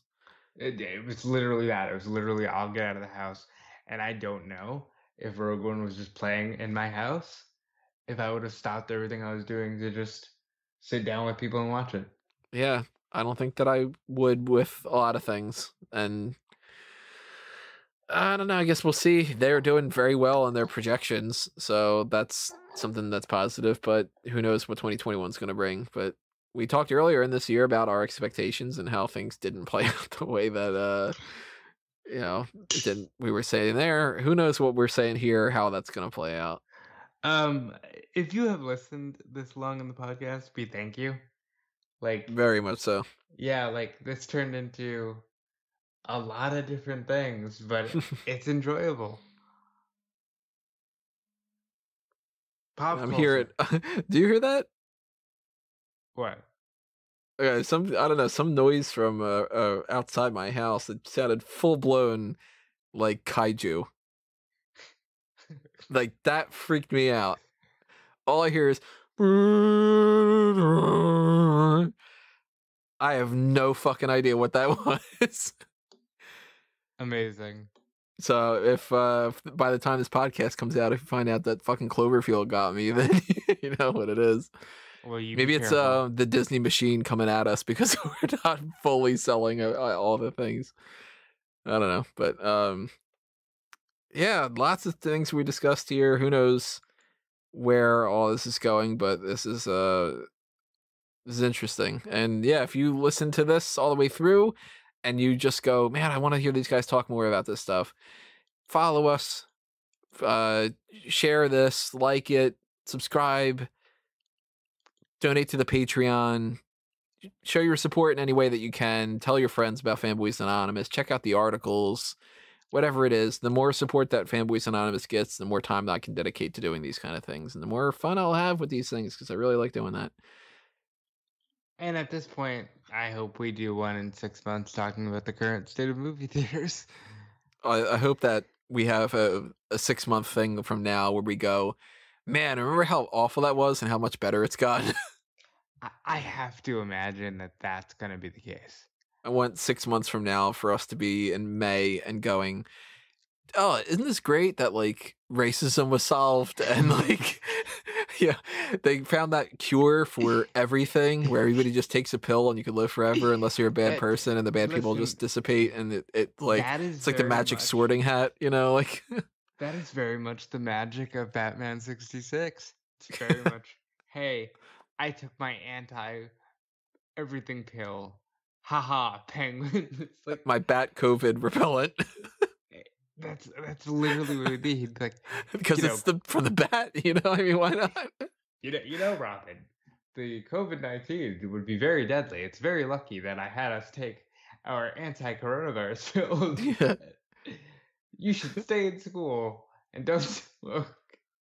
Holy vaccines, bat vaccines, Batman. That's right. And we thank the scientists, but more importantly, we thank America we thank the scientists and we thank the guinea pigs that they tested all these products on and because those are the true American true. heroes. Yeah. Gosh, you're right, Batman.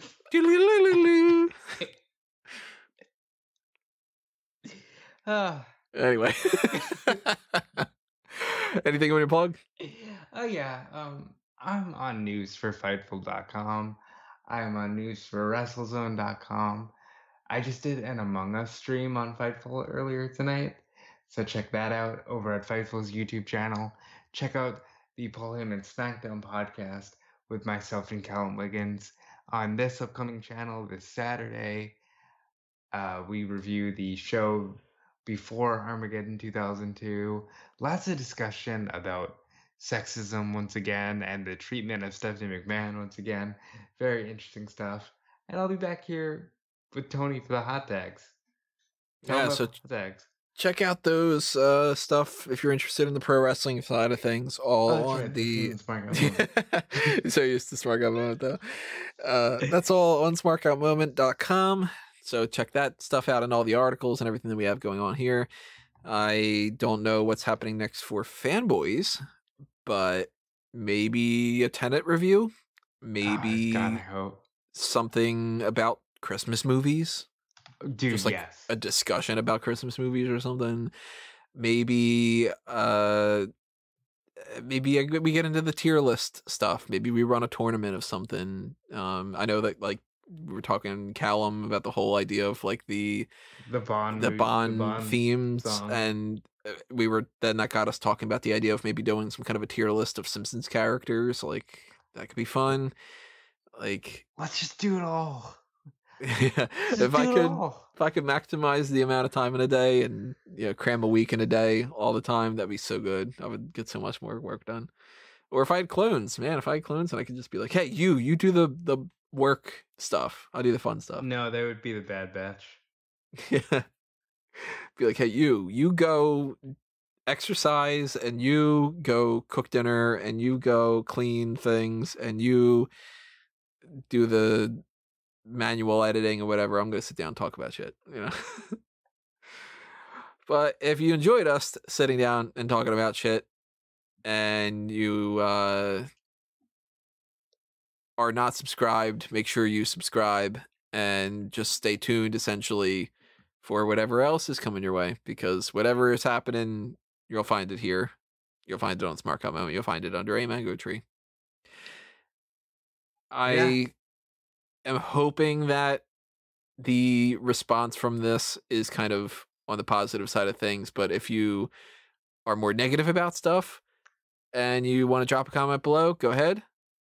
Just voice your opinion and tell us what you think, and we'll respond to things in the comments and everything. And yes, we know that we're scatterbrained. We're sorry. we are very scatterbrained, but we hope you uh, to bounce it around with us at the very least. And if they uh, do have anything new that happens throughout this whole setup, and they, they put new trailers and whatever like that, then I'll be talking about it on the Weekend Geek. And well, not talking about, it, I'll be writing about it. And maybe more articles coming out soon. Maybe we just hop on another podcast type of thing. Maybe we do bonus features. Whatever happens, happens. And we hope you join us for that too. But that's going to do us in for this one. It's time for us to geek out. See you later, everybody.